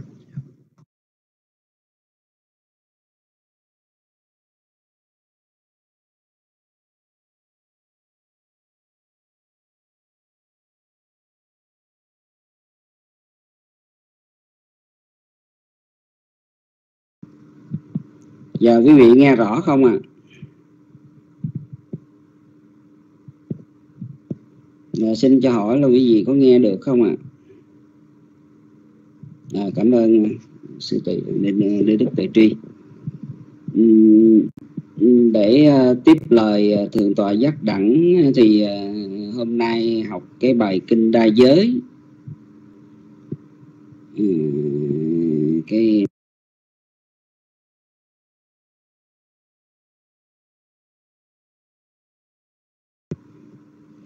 Hôm nay à, chúng ta học cái bài kinh đa giới. Ờ, phần đầu thì chúng ta học đến 12 xứ. Thì ờ, nãy giờ thì ờ, thượng tọa giác đẳng đã giảng cũng như là đức phật Tứng đã giảng đó. Thì nó liên quan đến cái 12 xứ, tức là mọi cái hoạt động ở trong cái đời sống của chúng ta đó. Thì nó liên quan đến 12 xứ 18 giới. Và trong cái thế giới mà hoạt động ở đây đó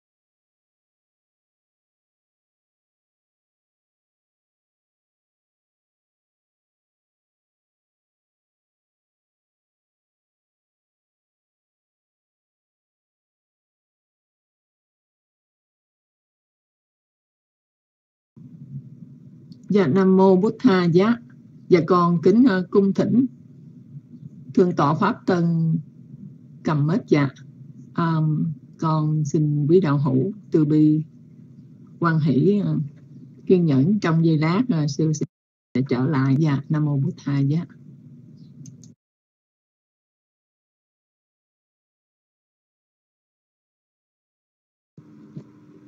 Dạ quý vị nghe được không ạ? À?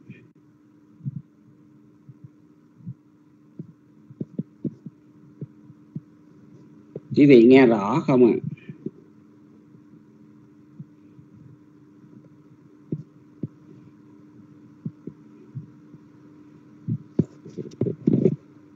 cái à, cái mạng hôm nay sao nó lạ quá cái máy không biết hôm nay sao nó lạ quá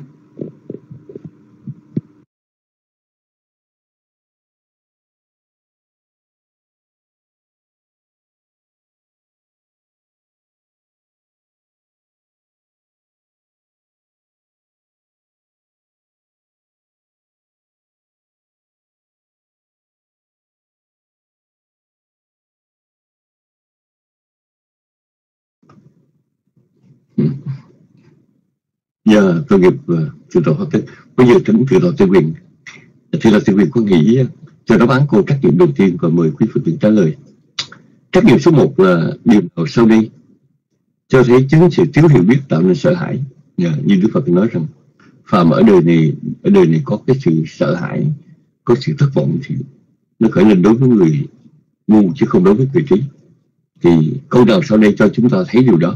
A kỳ vọng sự việc một cách hoàn toàn không hợp lý tạo nên thất vọng.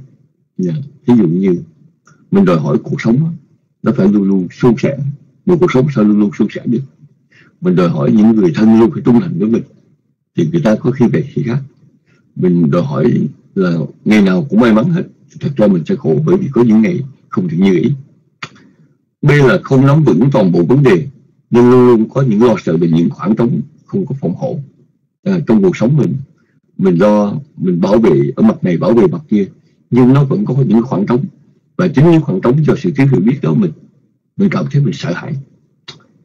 Giống như vị tướng mà uh, mình phòng thủ mình có bốn bốn năm cửa thành bốn cửa thành mà mình chỉ phòng thủ được ba mặt hai mặt thôi. C là bước đi trong đêm tối một mịt mù uh, mịt mù không thể không hoang mang sợ hãi. Hôm đầu thử trời tối đen như mực mà mình bước đi. Mình nếu bước đi chân không mà không biết chân là gì thì mình có hoang mang sợ hãi không? Đây là tả bao của trên từ đúng. Mời quý phật tử trả lời và kính trình thượng tọa tư nguyện khoa nghị cho các bạn.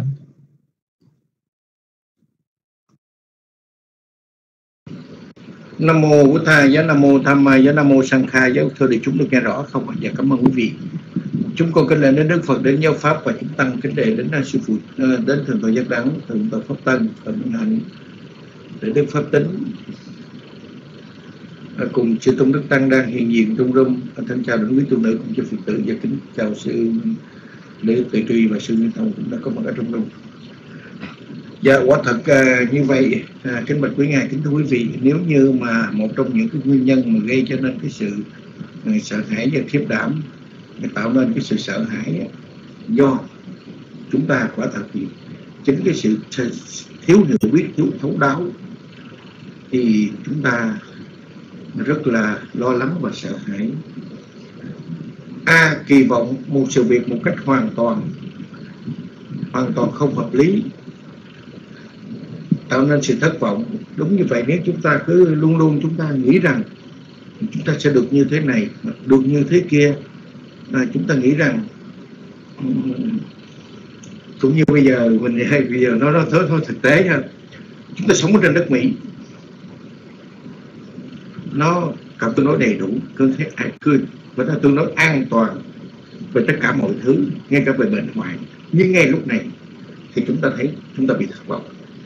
Thất vọng cái gì? Thất vọng về, không phải thất vọng về thất vọng mà thất vọng về cuộc sống con người của chính mình. Nó không có hoàn toàn và nó không có vững chắc được. Cái y học cao nhất nhưng điều mà cũng chưa có thể đối kháng được cái con virus này, cái covid này. Thì đây chính là một mình kỳ vọng mà hoàn toàn cái sự kỳ vọng của mình, sự an toàn trên hết thì cái đó nó cũng là một sự tương đối thôi cũng như thế, ở trong cuộc đời này, đừng có hy vọng cho nhiều rồi thất vọng cũng là càng nhiều. Từ chỗ đó từ cái sự kỳ vọng này, từ cái sự hy vọng này nó tạo nên cho chúng ta rất là mệt mỏi và rất là sợ hãi trong mọi thứ. Bởi vì chúng ta đang đang đi ở trong, đi ở trong chúng ta gọi là cái như mình mình mình đang đi trong mộng, trong mơ. Phải sống thực tế. Cái điều kiện thực tế là nó được đầy đủ để được tốt đẹp so với những nơi khác, quả thật như vậy, đúng như vậy. Nhưng cái gì cũng không là tuyệt đối, cho nên vì vậy cái sự kỳ vọng một cách hoàn toàn không hợp lý tạo nên sự thất vọng. Đúng vậy. Tất cả những những gì mà chúng ta suy nghĩ trên cuộc đời này ngay cả thân xác này tiền của này nó cũng là phải nói rằng muôn việc điều nương mấy tấc hơi mà hơi vừa dứt việc đời cũng sẽ chấm dứt. Cho nên vì vậy xong. Đừng có à, đừng có, có, có kỳ vọng một cái điều mà mà mà mà mà nó không có, có, có, có hợp lý không có đúng đắn thì nó sẽ trở nên rất là thất vọng. Đúng như vậy và từ đó nó tạo ra cái sự sợ hãi. B không nắm vững toàn bộ những vấn đề. Nó luôn luôn có sự sợ hãi về những khoảng trống à, trong cái sự phòng hộ. Đúng như vậy. Nếu như chúng ta hiểu được vấn đề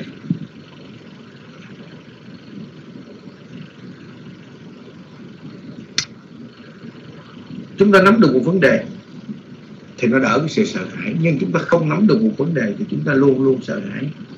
Nghe cả, bây giờ tâm tư của của tất cả luôn. Không riêng ở ở đất Mỹ, nặng nề mà, hay là những chỗ khác nặng nề mà, tất cả nơi đâu cũng vậy.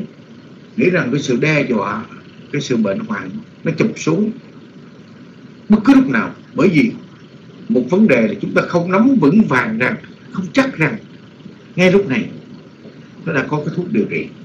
Nó chưa có cái thuốc đối kháng ở trong cuộc đời này cũng như thế. Nếu chúng ta không tìm ra một lý giải được, chúng ta không nắm vững vàng thì thời, chúng ta rất là lo lắng. Không có phòng hộ ờ, mà chúng ta không thể phòng hộ được. Hay là lo lắng trong sự phòng hộ. Cũng như bây giờ nếu như mình ờ, mình đi thi, mà mình không có có vững vững vàng, mình không có có học kỹ lưỡng, thì một kiểu lớp lớp hoặc mình kiểu như là mình lười biếng. Thì vào những lúc giờ thi thì chúng ta cảm thấy rất là sợ hãi. Tại sao như vậy? Bởi vì chúng ta không nắm vững. Bài vở không nắm vững được cái cái, cái quy trình của chính mình. Và thế là chúng ta không thể nào thi được. Và cái đó là do chúng ta không có sự chuẩn bị. Không có học trước. Bây giờ vô thi sao được? Thì cũng như thế không có sự chuẩn bị. Là vấn đề này chúng ta không có nắm vững trước. Dạ. Đúng như vậy cho nên tạo nên cái sự sợ hãi do cái sự thiếu cái sự hiểu biết đó và bước đi trong đêm tối mịt mù không thể không thể không quan à, à, mịt mù mà không thể không quan mang sợ hãi. Những người không phải sợ ma nhưng người ta sợ sợ cái sự nguy hiểm khác. Bởi vì trong đêm tối mịt mù thì mọi cái cái cái cái sự tình gì cũng có thể sẽ đến với mình. À, quý vị biết đừng nói chi quý trong xã hội chúng tôi trong chùa để cũng cũng cũng còn nhiều khi cũng còn ớn lạnh nhiều khi mà đi tối đi dục dục đi dục dục chùa mà mình nghĩ thí dụ mình tự nhiên mình xin đi nghĩ về thí dụ giờ mình đi nó thấy mình nó đứng chỗ nấp ở đầu đọc đi tới cái, cái, cái nó đọc mình. Theo quật nó có cái mưu toán nó có cái mưu tính như thế này thế kia mình đâu có biết. Thì chính cái một cái quan mang đó thôi. Cái tâm mình nó lo là nó lo sợ liền nó sợ hãi liền. Thì thôi cứ như ma quỷ thì biết chưa có thấy sợ. Nhưng đều mà thấy là sợ sợ ma người trước người. Thì nó như thế đó quý vị tạo ra một sự sợ hãi nó hết sức là là căn bản. Mà chính là do cái sự thiếu thiếu cái sự à, hiểu biết và tạo nên cái sự sợ hãi đúng như vậy. Chứ nếu như sự thật là chúng ta đi trong đêm tối mà chúng ta biết rằng nó có sự an toàn tuyệt đối không? Chúng tôi đang nói ở nhà quý vị cũng vậy nó quý vị đi tối quý vị sợ. Sợ cái gì? Thường thường thì đóng cửa hết rồi thì nghĩ rằng chắc chắn nhưng điều quý vị ấn không có gì sợ ma không biết nhiều khi nó đột nhập vào lúc nào đó dân dân những cái sự những cái sự quan mang đó thì chắc chắn là nó sẽ khởi sinh lên. Do con người mà cũng vốn từ trong trong cái tâm tư của con người hết sức là yếu đuối. Thật sự hết sức là yếu đuối. Đừng có nói mạnh dạng hay ho gì đâu. Chúng ta rất hiểu điếu rất là, là, là yếu đuối đến khi nó mới xuất hiện nhiều con ma. Sợ sệt lo lắng ở trong lòng ta đó là sự thật. Dạ. Thì câu trả lời tức là D cả ba câu trên là đúng. Thì xin à, chúc mừng đến à, giác minh là D phong lan là D tham ba mười là D pháp lưỡi là D trần đạo là D từ bi là D. Tất cả đã trả lời là câu D. Và diệu giác cũng là D meta D sương võ cũng là D. Dạ. À, con xin kính cung thỉnh uh, tiền mãn D cân tính cung thỉnh thường thọ quay trở lại. Nếu có điều gì không có tốt thì cân cung thỉnh ngài dạ. Quan nguyện cũng đây.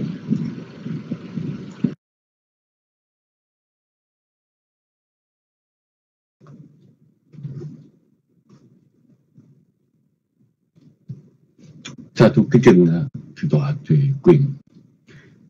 Và chi thông đức và thưa quý phật tử, Đề lễ tam học hay là lễ Phật đản mà chúng ta chưa được gọi rồi Năm 2020 sẽ là đại lễ Phật đản không giống như bất cứ bữa lễ nào mà chúng ta biết trước đây. À, điểm đầu tiên là trong nay chúng ta có hai tháng tư nhuận. À, tuần tới này đó là ngày rằm tháng tư. Và rằm tháng tư tới thì đó là rằm tháng tư đầu tiên. Và chúng ta có thêm một tháng tư ừ, tiếp theo nữa vào Ờ, uh, trùng của tháng 6 ngoài hai tháng thư uh, ờ, âm lịch dùng á thì thưa quý vị năm nay lễ Phật đản được tổ chức ở trong cái thời điểm mà đại dịch vẫn đang hoàn thành ở trên thế giới này. Có rất nhiều chùa và có rất nhiều Phật tử là hỏi chúng tôi về việc tổ chức đại lễ Phật đản như thế nào thì thưa quý vị chúng tôi phải thưa rằng ngoài cái việc mà theo dõi rất sát về luật lệ của địa phương chúng ta nên hiểu cái khả năng nhiễm rất là lớn ở vào thời điểm này. Một con số rất lớn Phật tử đi chùa. Số đông Phật tử đi chùa là những Phật tử lớn tuổi. À, chúng ta nói rằng đó là thành phần mà ảnh hưởng chịu ảnh hưởng tai hại nhất đối với bệnh dịch. Khi mà người lớn tuổi bị bệnh dịch ấy, thì cái nguy cơ về tử vong cao hơn người trẻ rất là nhiều do cái sự đề kháng cơ thể yếu hơn và thường là người lớn tuổi có những chứng bệnh nền như là áp huyết hay là tiểu đường. Và những bệnh bệnh nền đó nó trở thành nó nó biến thành một cái điều kiện dễ dàng cho virus tấn công. Và sự việc này nó sẽ đảo lộn toàn bộ sinh hoạt của các chùa. Có một vài thầy nói với chúng tôi rằng nếu mà người tử cao niên không đi chùa được thì không biết chùa phải tồn tại như thế nào. Tại vì ngày nay những người trẻ đi chùa không có nhiều. Chúng tôi không biết ở Việt Nam ra sao nhưng mà ở tại Hoa Kỳ tại hải ngoại đó, một số người Phật tử đi chùa đó phần đông là những người lớn tuổi thì thưa quý vị ờ, ở một vài uh, tiểu bang của Hoa Kỳ như tiểu bang Texas mà chúng tôi đang ở đó, thì người ta có cái quy định uh, về cái số người có thể tập hợp được. Kể từ ngày hôm nay là thứ sáu một tháng năm. Đó là ví dụ như mỗi một cái nhà hàng một cơ sở thương mại khi đặc biệt là nhà hàng đó, khi mà xin giấy phép để có cái buôn bài mở cửa làm ăn thì cái cơ sở đó người ta quy định là tối đa là bao nhiêu người. Có nghĩa là uh, ở đây tôi gọi là occupancy certificate tức là cái OC đó là cái số lượng mà người có thể có ở trong nhà hàng đó. Ví dụ như là nhà hàng đó có thể chứa được 100 người thì bây giờ luật của chính phủ chỉ cho phép là đón khách cho khách vào ăn 25% nghĩa là hai nếu có khả năng chứa 100 người lúc bình thường trước đây đó, thì bây giờ chỉ được 25 người vào ăn và những người khác phải chờ bên ngoài. Điều này nó sẽ có một ảnh hưởng uh, giống y tương tự như vậy ở tại các nhà thờ các chùa. Ví dụ chánh điện chùa Pháp Luân uh, có thể ngồi được ờ, uh, 400 người thì bây giờ tối đa là người vào đó ngồi chỉ được 100 người thôi chứ không thể nói là 200, 300, 400 như trước kia. Và đây là một điểm khó tại vì người ta thường có một cái biện pháp để đóng cửa mở cửa nhà hàng nhưng mà ở tại chùa thì bảo rằng bao nhiêu người có thể vào được mà gọi là đếm số người hạn chế số người để ra khó. Ví dụ thì chúng ta chỉ còn có cách là bắt số ghế ví dụ như ở trong chánh điện giữ khoảng cách với nhau. Thì các chùa mà đặc biệt chùa ở California gặp cái khổ sở. Thứ thì ở California thường là cải gia vi tự tức là đa số các chùa đó là biến nhà thành chùa chánh điện không có rộng. Chánh điện mà là mà có được 100 người vào ở California là chánh điện chánh điện gọi lớn rồi bây giờ chỉ cho vào 25 người thì quả là khó. Và chúng tôi rất, rất nhiều trường hợp mà cái chánh điện chùa ở California chỉ 50 người còn gọi chặt rồi. Và bây giờ chỉ cho 10 người vào thì là cả một vấn đề. Yeah. Cả vấn đề mà khi người ta vào đông quá thì ai là người không được vào, ai là người cấm người khác. Và chúng tôi mới gặp một cái trường hợp rất là khó khăn. Đó là khi phật tử đến chùa làm lễ, thì ban đầu thì họ cho biết một cái con số tương đối là vừa phải. Nhưng mà đến khi mà họ đến thực sự con số tăng gấp đôi và chúng ta không có cách. Không cách thực uh, một cái biện pháp trong những biện pháp an toàn đó là đại lễ Phật đản này ờ, uh, trước nhất là chúng ta phải quan sát trong hai tuần lễ kế tiếp. Những tiểu bang mở cửa như là uh, Georgia uh, hay là uh, Texas uh, những tiểu bang đông dân mà mở cửa như vậy thử xem cái sự uh, lây nhiễm và tử vong của bệnh dịch. Nó lên xuống như thế nào rồi hãy quyết định do vậy uh, nên tổ chức lễ Phật đản vào tháng tư nhưng ở phía sau. Tức là khoan tổ chức lễ Phật đản trong tuần lễ trong tháng này để chúng ta có thời gian chờ đợi. Điểm thứ hai là nếu thế bệnh dịch vẫn bùng phát sự lây nhiễm vẫn ngày càng rộng lớn hơn thì điều tốt nhất là để bảo vệ cái sự an toàn cho tất cả mọi người chư tăng ni ở trong chùa như phật tử nhất là những phật tử lớn tuổi. Thì tạm thời năm nay chúng ta không có tổ chức lễ phật đản ở tại chùa. Và điều thứ ba là chúng ta nên nghĩ cách nào đó để có thể tổ chức cái sinh hoạt ở trên mạng internet. Thì thưa vị dần dà điều này nó cũng khó khăn. Uh, trước kia thì chúng ta chỉ dùng cái app về zoom zoom để cho các lớp học trường học zoom cho các cái phiên hội họp nhưng mà zoom càng ngày càng có vấn đề bởi vì quá tải. Và cái cái công tải bây giờ họ phải cái cái cái lượng mà người ta tham dự gấp 10 lần uh, cái khả năng của zoom.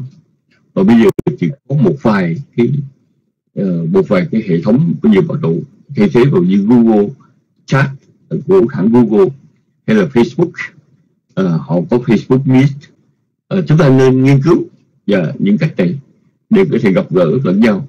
Và dĩ nhiên chúng tôi thưa rằng à, nó nó sẽ ảnh hưởng rất là nhiều. Đặc biệt là các cái cơ sở chùa chiền nên tìm cách hạn à, tiết giảm chi tiêu lại. Và bởi vì cái sự cúng dường nó sẽ xuống rất là thấp so với trước kia. Và cái, cái, cái kinh phí nên đặt ở mức độ tối thiểu. Bởi vì chúng ta sẽ gặp vấn đề lớn về vấn đề này và vấn đề lớn khi mà uh, giảm thiểu những cái sinh hoạt như hôn quan trang tế uh, sinh hoạt thường xuyên ở tại chùa. Thậm chí có thể là ở trong một năm mà chùa chùa chiền sẽ phải tạm ngưng các sinh hoạt nữa. Uh, chưa có biết được là như thế nào. Nên chi đây là thời điểm mà tất cả chúng ta phải uh, đặc biệt uh, phải đặc biệt để uh, để để quan tâm về cái điều kiện tài chính và chúng ta chưa nói đến là có không biết kinh sự khủng hoảng kinh tế như thế nào. Thì thưa quý vị uh, Bắc mặc dù uh, các cái công ty dược phẩm thậm chí được tài trợ bên chính phủ liên bang đang chạy đua để tìm ra uh, thuốc chủng ngừa cũng như là uh, trị bệnh dịch. Nhưng mà tất cả đều phải mất thời gian hết. Không có cái nào mà một sớm một chiều giải quyết vấn đề mùa hè sẽ qua rất nhanh thưa quý vị. Ba tháng mùa hè qua rất là nhanh.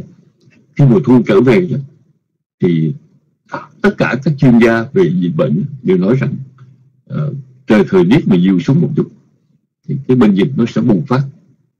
Đợt hai và với tất cả kinh kinh nghiệm trong thời gian uh, vài tháng qua rồi thì chúng ta uh, học hỏi từ đó để chuẩn bị tốt cho mình.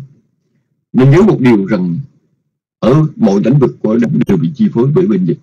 Và chúng ta phải chuẩn bị tốt. Và chuẩn bị thật tốt cho vấn đề à, cho vấn đề làm thế nào và để bảo vệ mình bảo vệ những người xung quanh. Đồng thời chúng ta cũng chuẩn bị tinh thần. Nếu mà các chuyên gia như là chuyên gia sáu bảy mươi phần trăm à, dân chúng Mỹ sẽ bị lây nhiễm và con số lây nhiễm có thể lên tới 200 triệu người và con số tử vong có thể lên tới con số cả 10 triệu người thì chúng ta nên có một cái thái phải chăng ờ, chuẩn bị hành trang. Mình sống mình sẽ sống như thế nào, và mình nếu mình ra đi ra đi như thế nào. Và nên chăm sóc tốt cho những người thân, ngay trong những giờ phút mà chúng ta còn có thể có được như thế nào. Nó không phải là một hình ảnh bi quan, nhưng mà chúng ta nên có thái độ thực tiễn. Người phật tử thì luôn luôn cố gắng để sống bằng thái độ chấp nhận thực tại, và sự chấp nhận đó cho chúng ta có đủ sự thanh bình tĩnh đối với sự việc xin được kết thúc chương trình sinh hoạt hôm nay của trung Phật pháp Buddha Dhamma kính thưa chư vị giảng sư đã vào trung để thuyết giảng. Đảnh lễ quý ngài. Thân chào tạm biệt quý phật tử. Kính chúc tất cả một ngày an lành, một đêm an lành. Hẹn gặp lại trong chương trình ngày mai. Nam mô bích thầy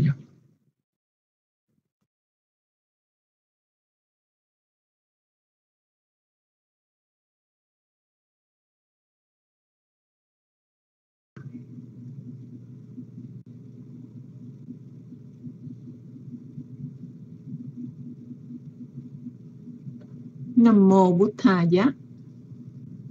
Nam mô Bụt Tha Giá. Dạ dạ sa thủ sức nhật quỳnh cho được em biết tín hiệu.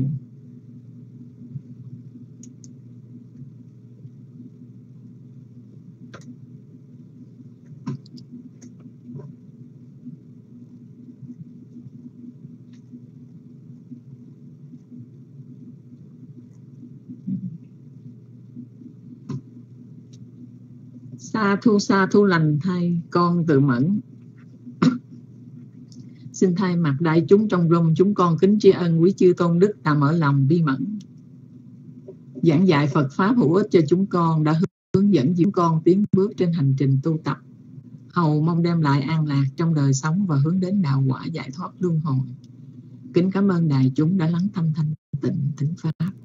Kính cảm ơn quý chủ nhiệm OP xuống ngôn viên đầy trợ cho các phần hành trong lớp được hoàn tất mỹ mãn Chúng con kính chúc quý chư tôn đức thân tâm thường lạc, Phật sự viên thành, kính chúc quý đạo hữu luôn an lạc các tường trong chánh pháp nhiệm màu của Đức Từ Phụ Thích Ca Mâu Ni. Để kết thúc chương trình xin chúng ta nhất tâm hồi hướng. Nguyện công đức đã làm kết duyên lành giải thoát. Nguyện hồi hướng chư thiên hàng thiện thần hộ pháp. Nguyện các bậc hữu ân đồng thừa tư công đức. Nguyện chánh pháp trường tồn, chúng sanh cầu giải thoát. Nam mô bút Tha Giác.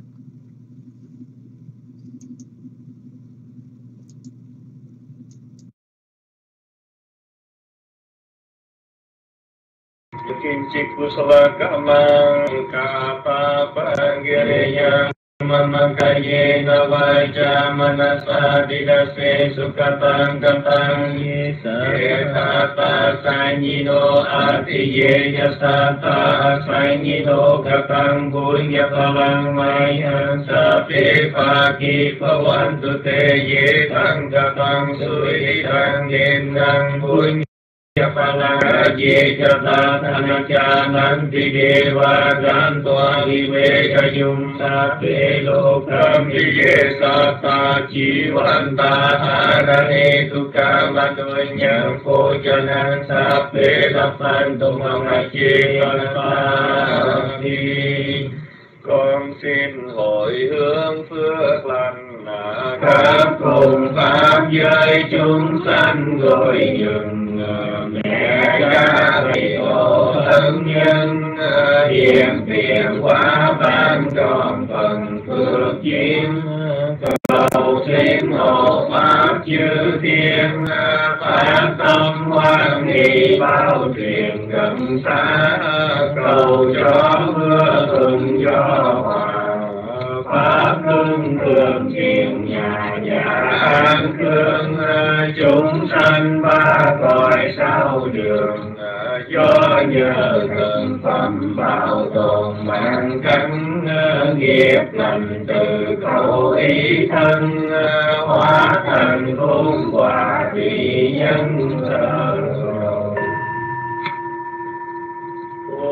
Sapang Sumangalang Kakantu Sapa Devata Sapa Bhuta Rupa Vena Soti Hontu Nirontarang Hotu Sapang Sumangalang Kakantu Sapa Devata Sapa Dhamma Rupa Vena Soti Hontu Hontu nirontarang hontu sapa sumanggalang rakantu sapa devata sapa sangha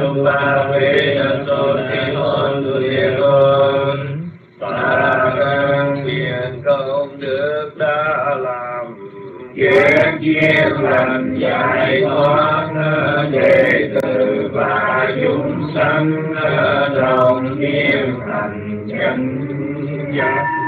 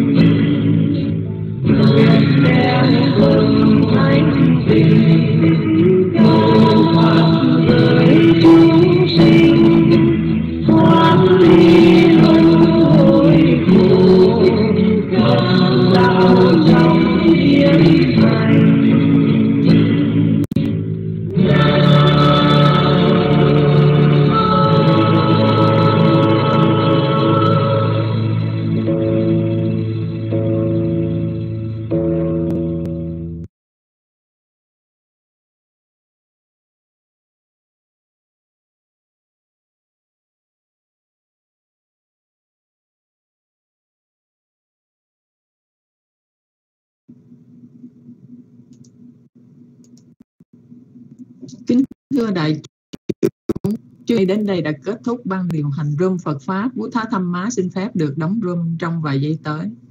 Kính chào tạm biệt tất cả. Xin hẹn gặp lại quý vị ngày mai trong giờ thường lệ.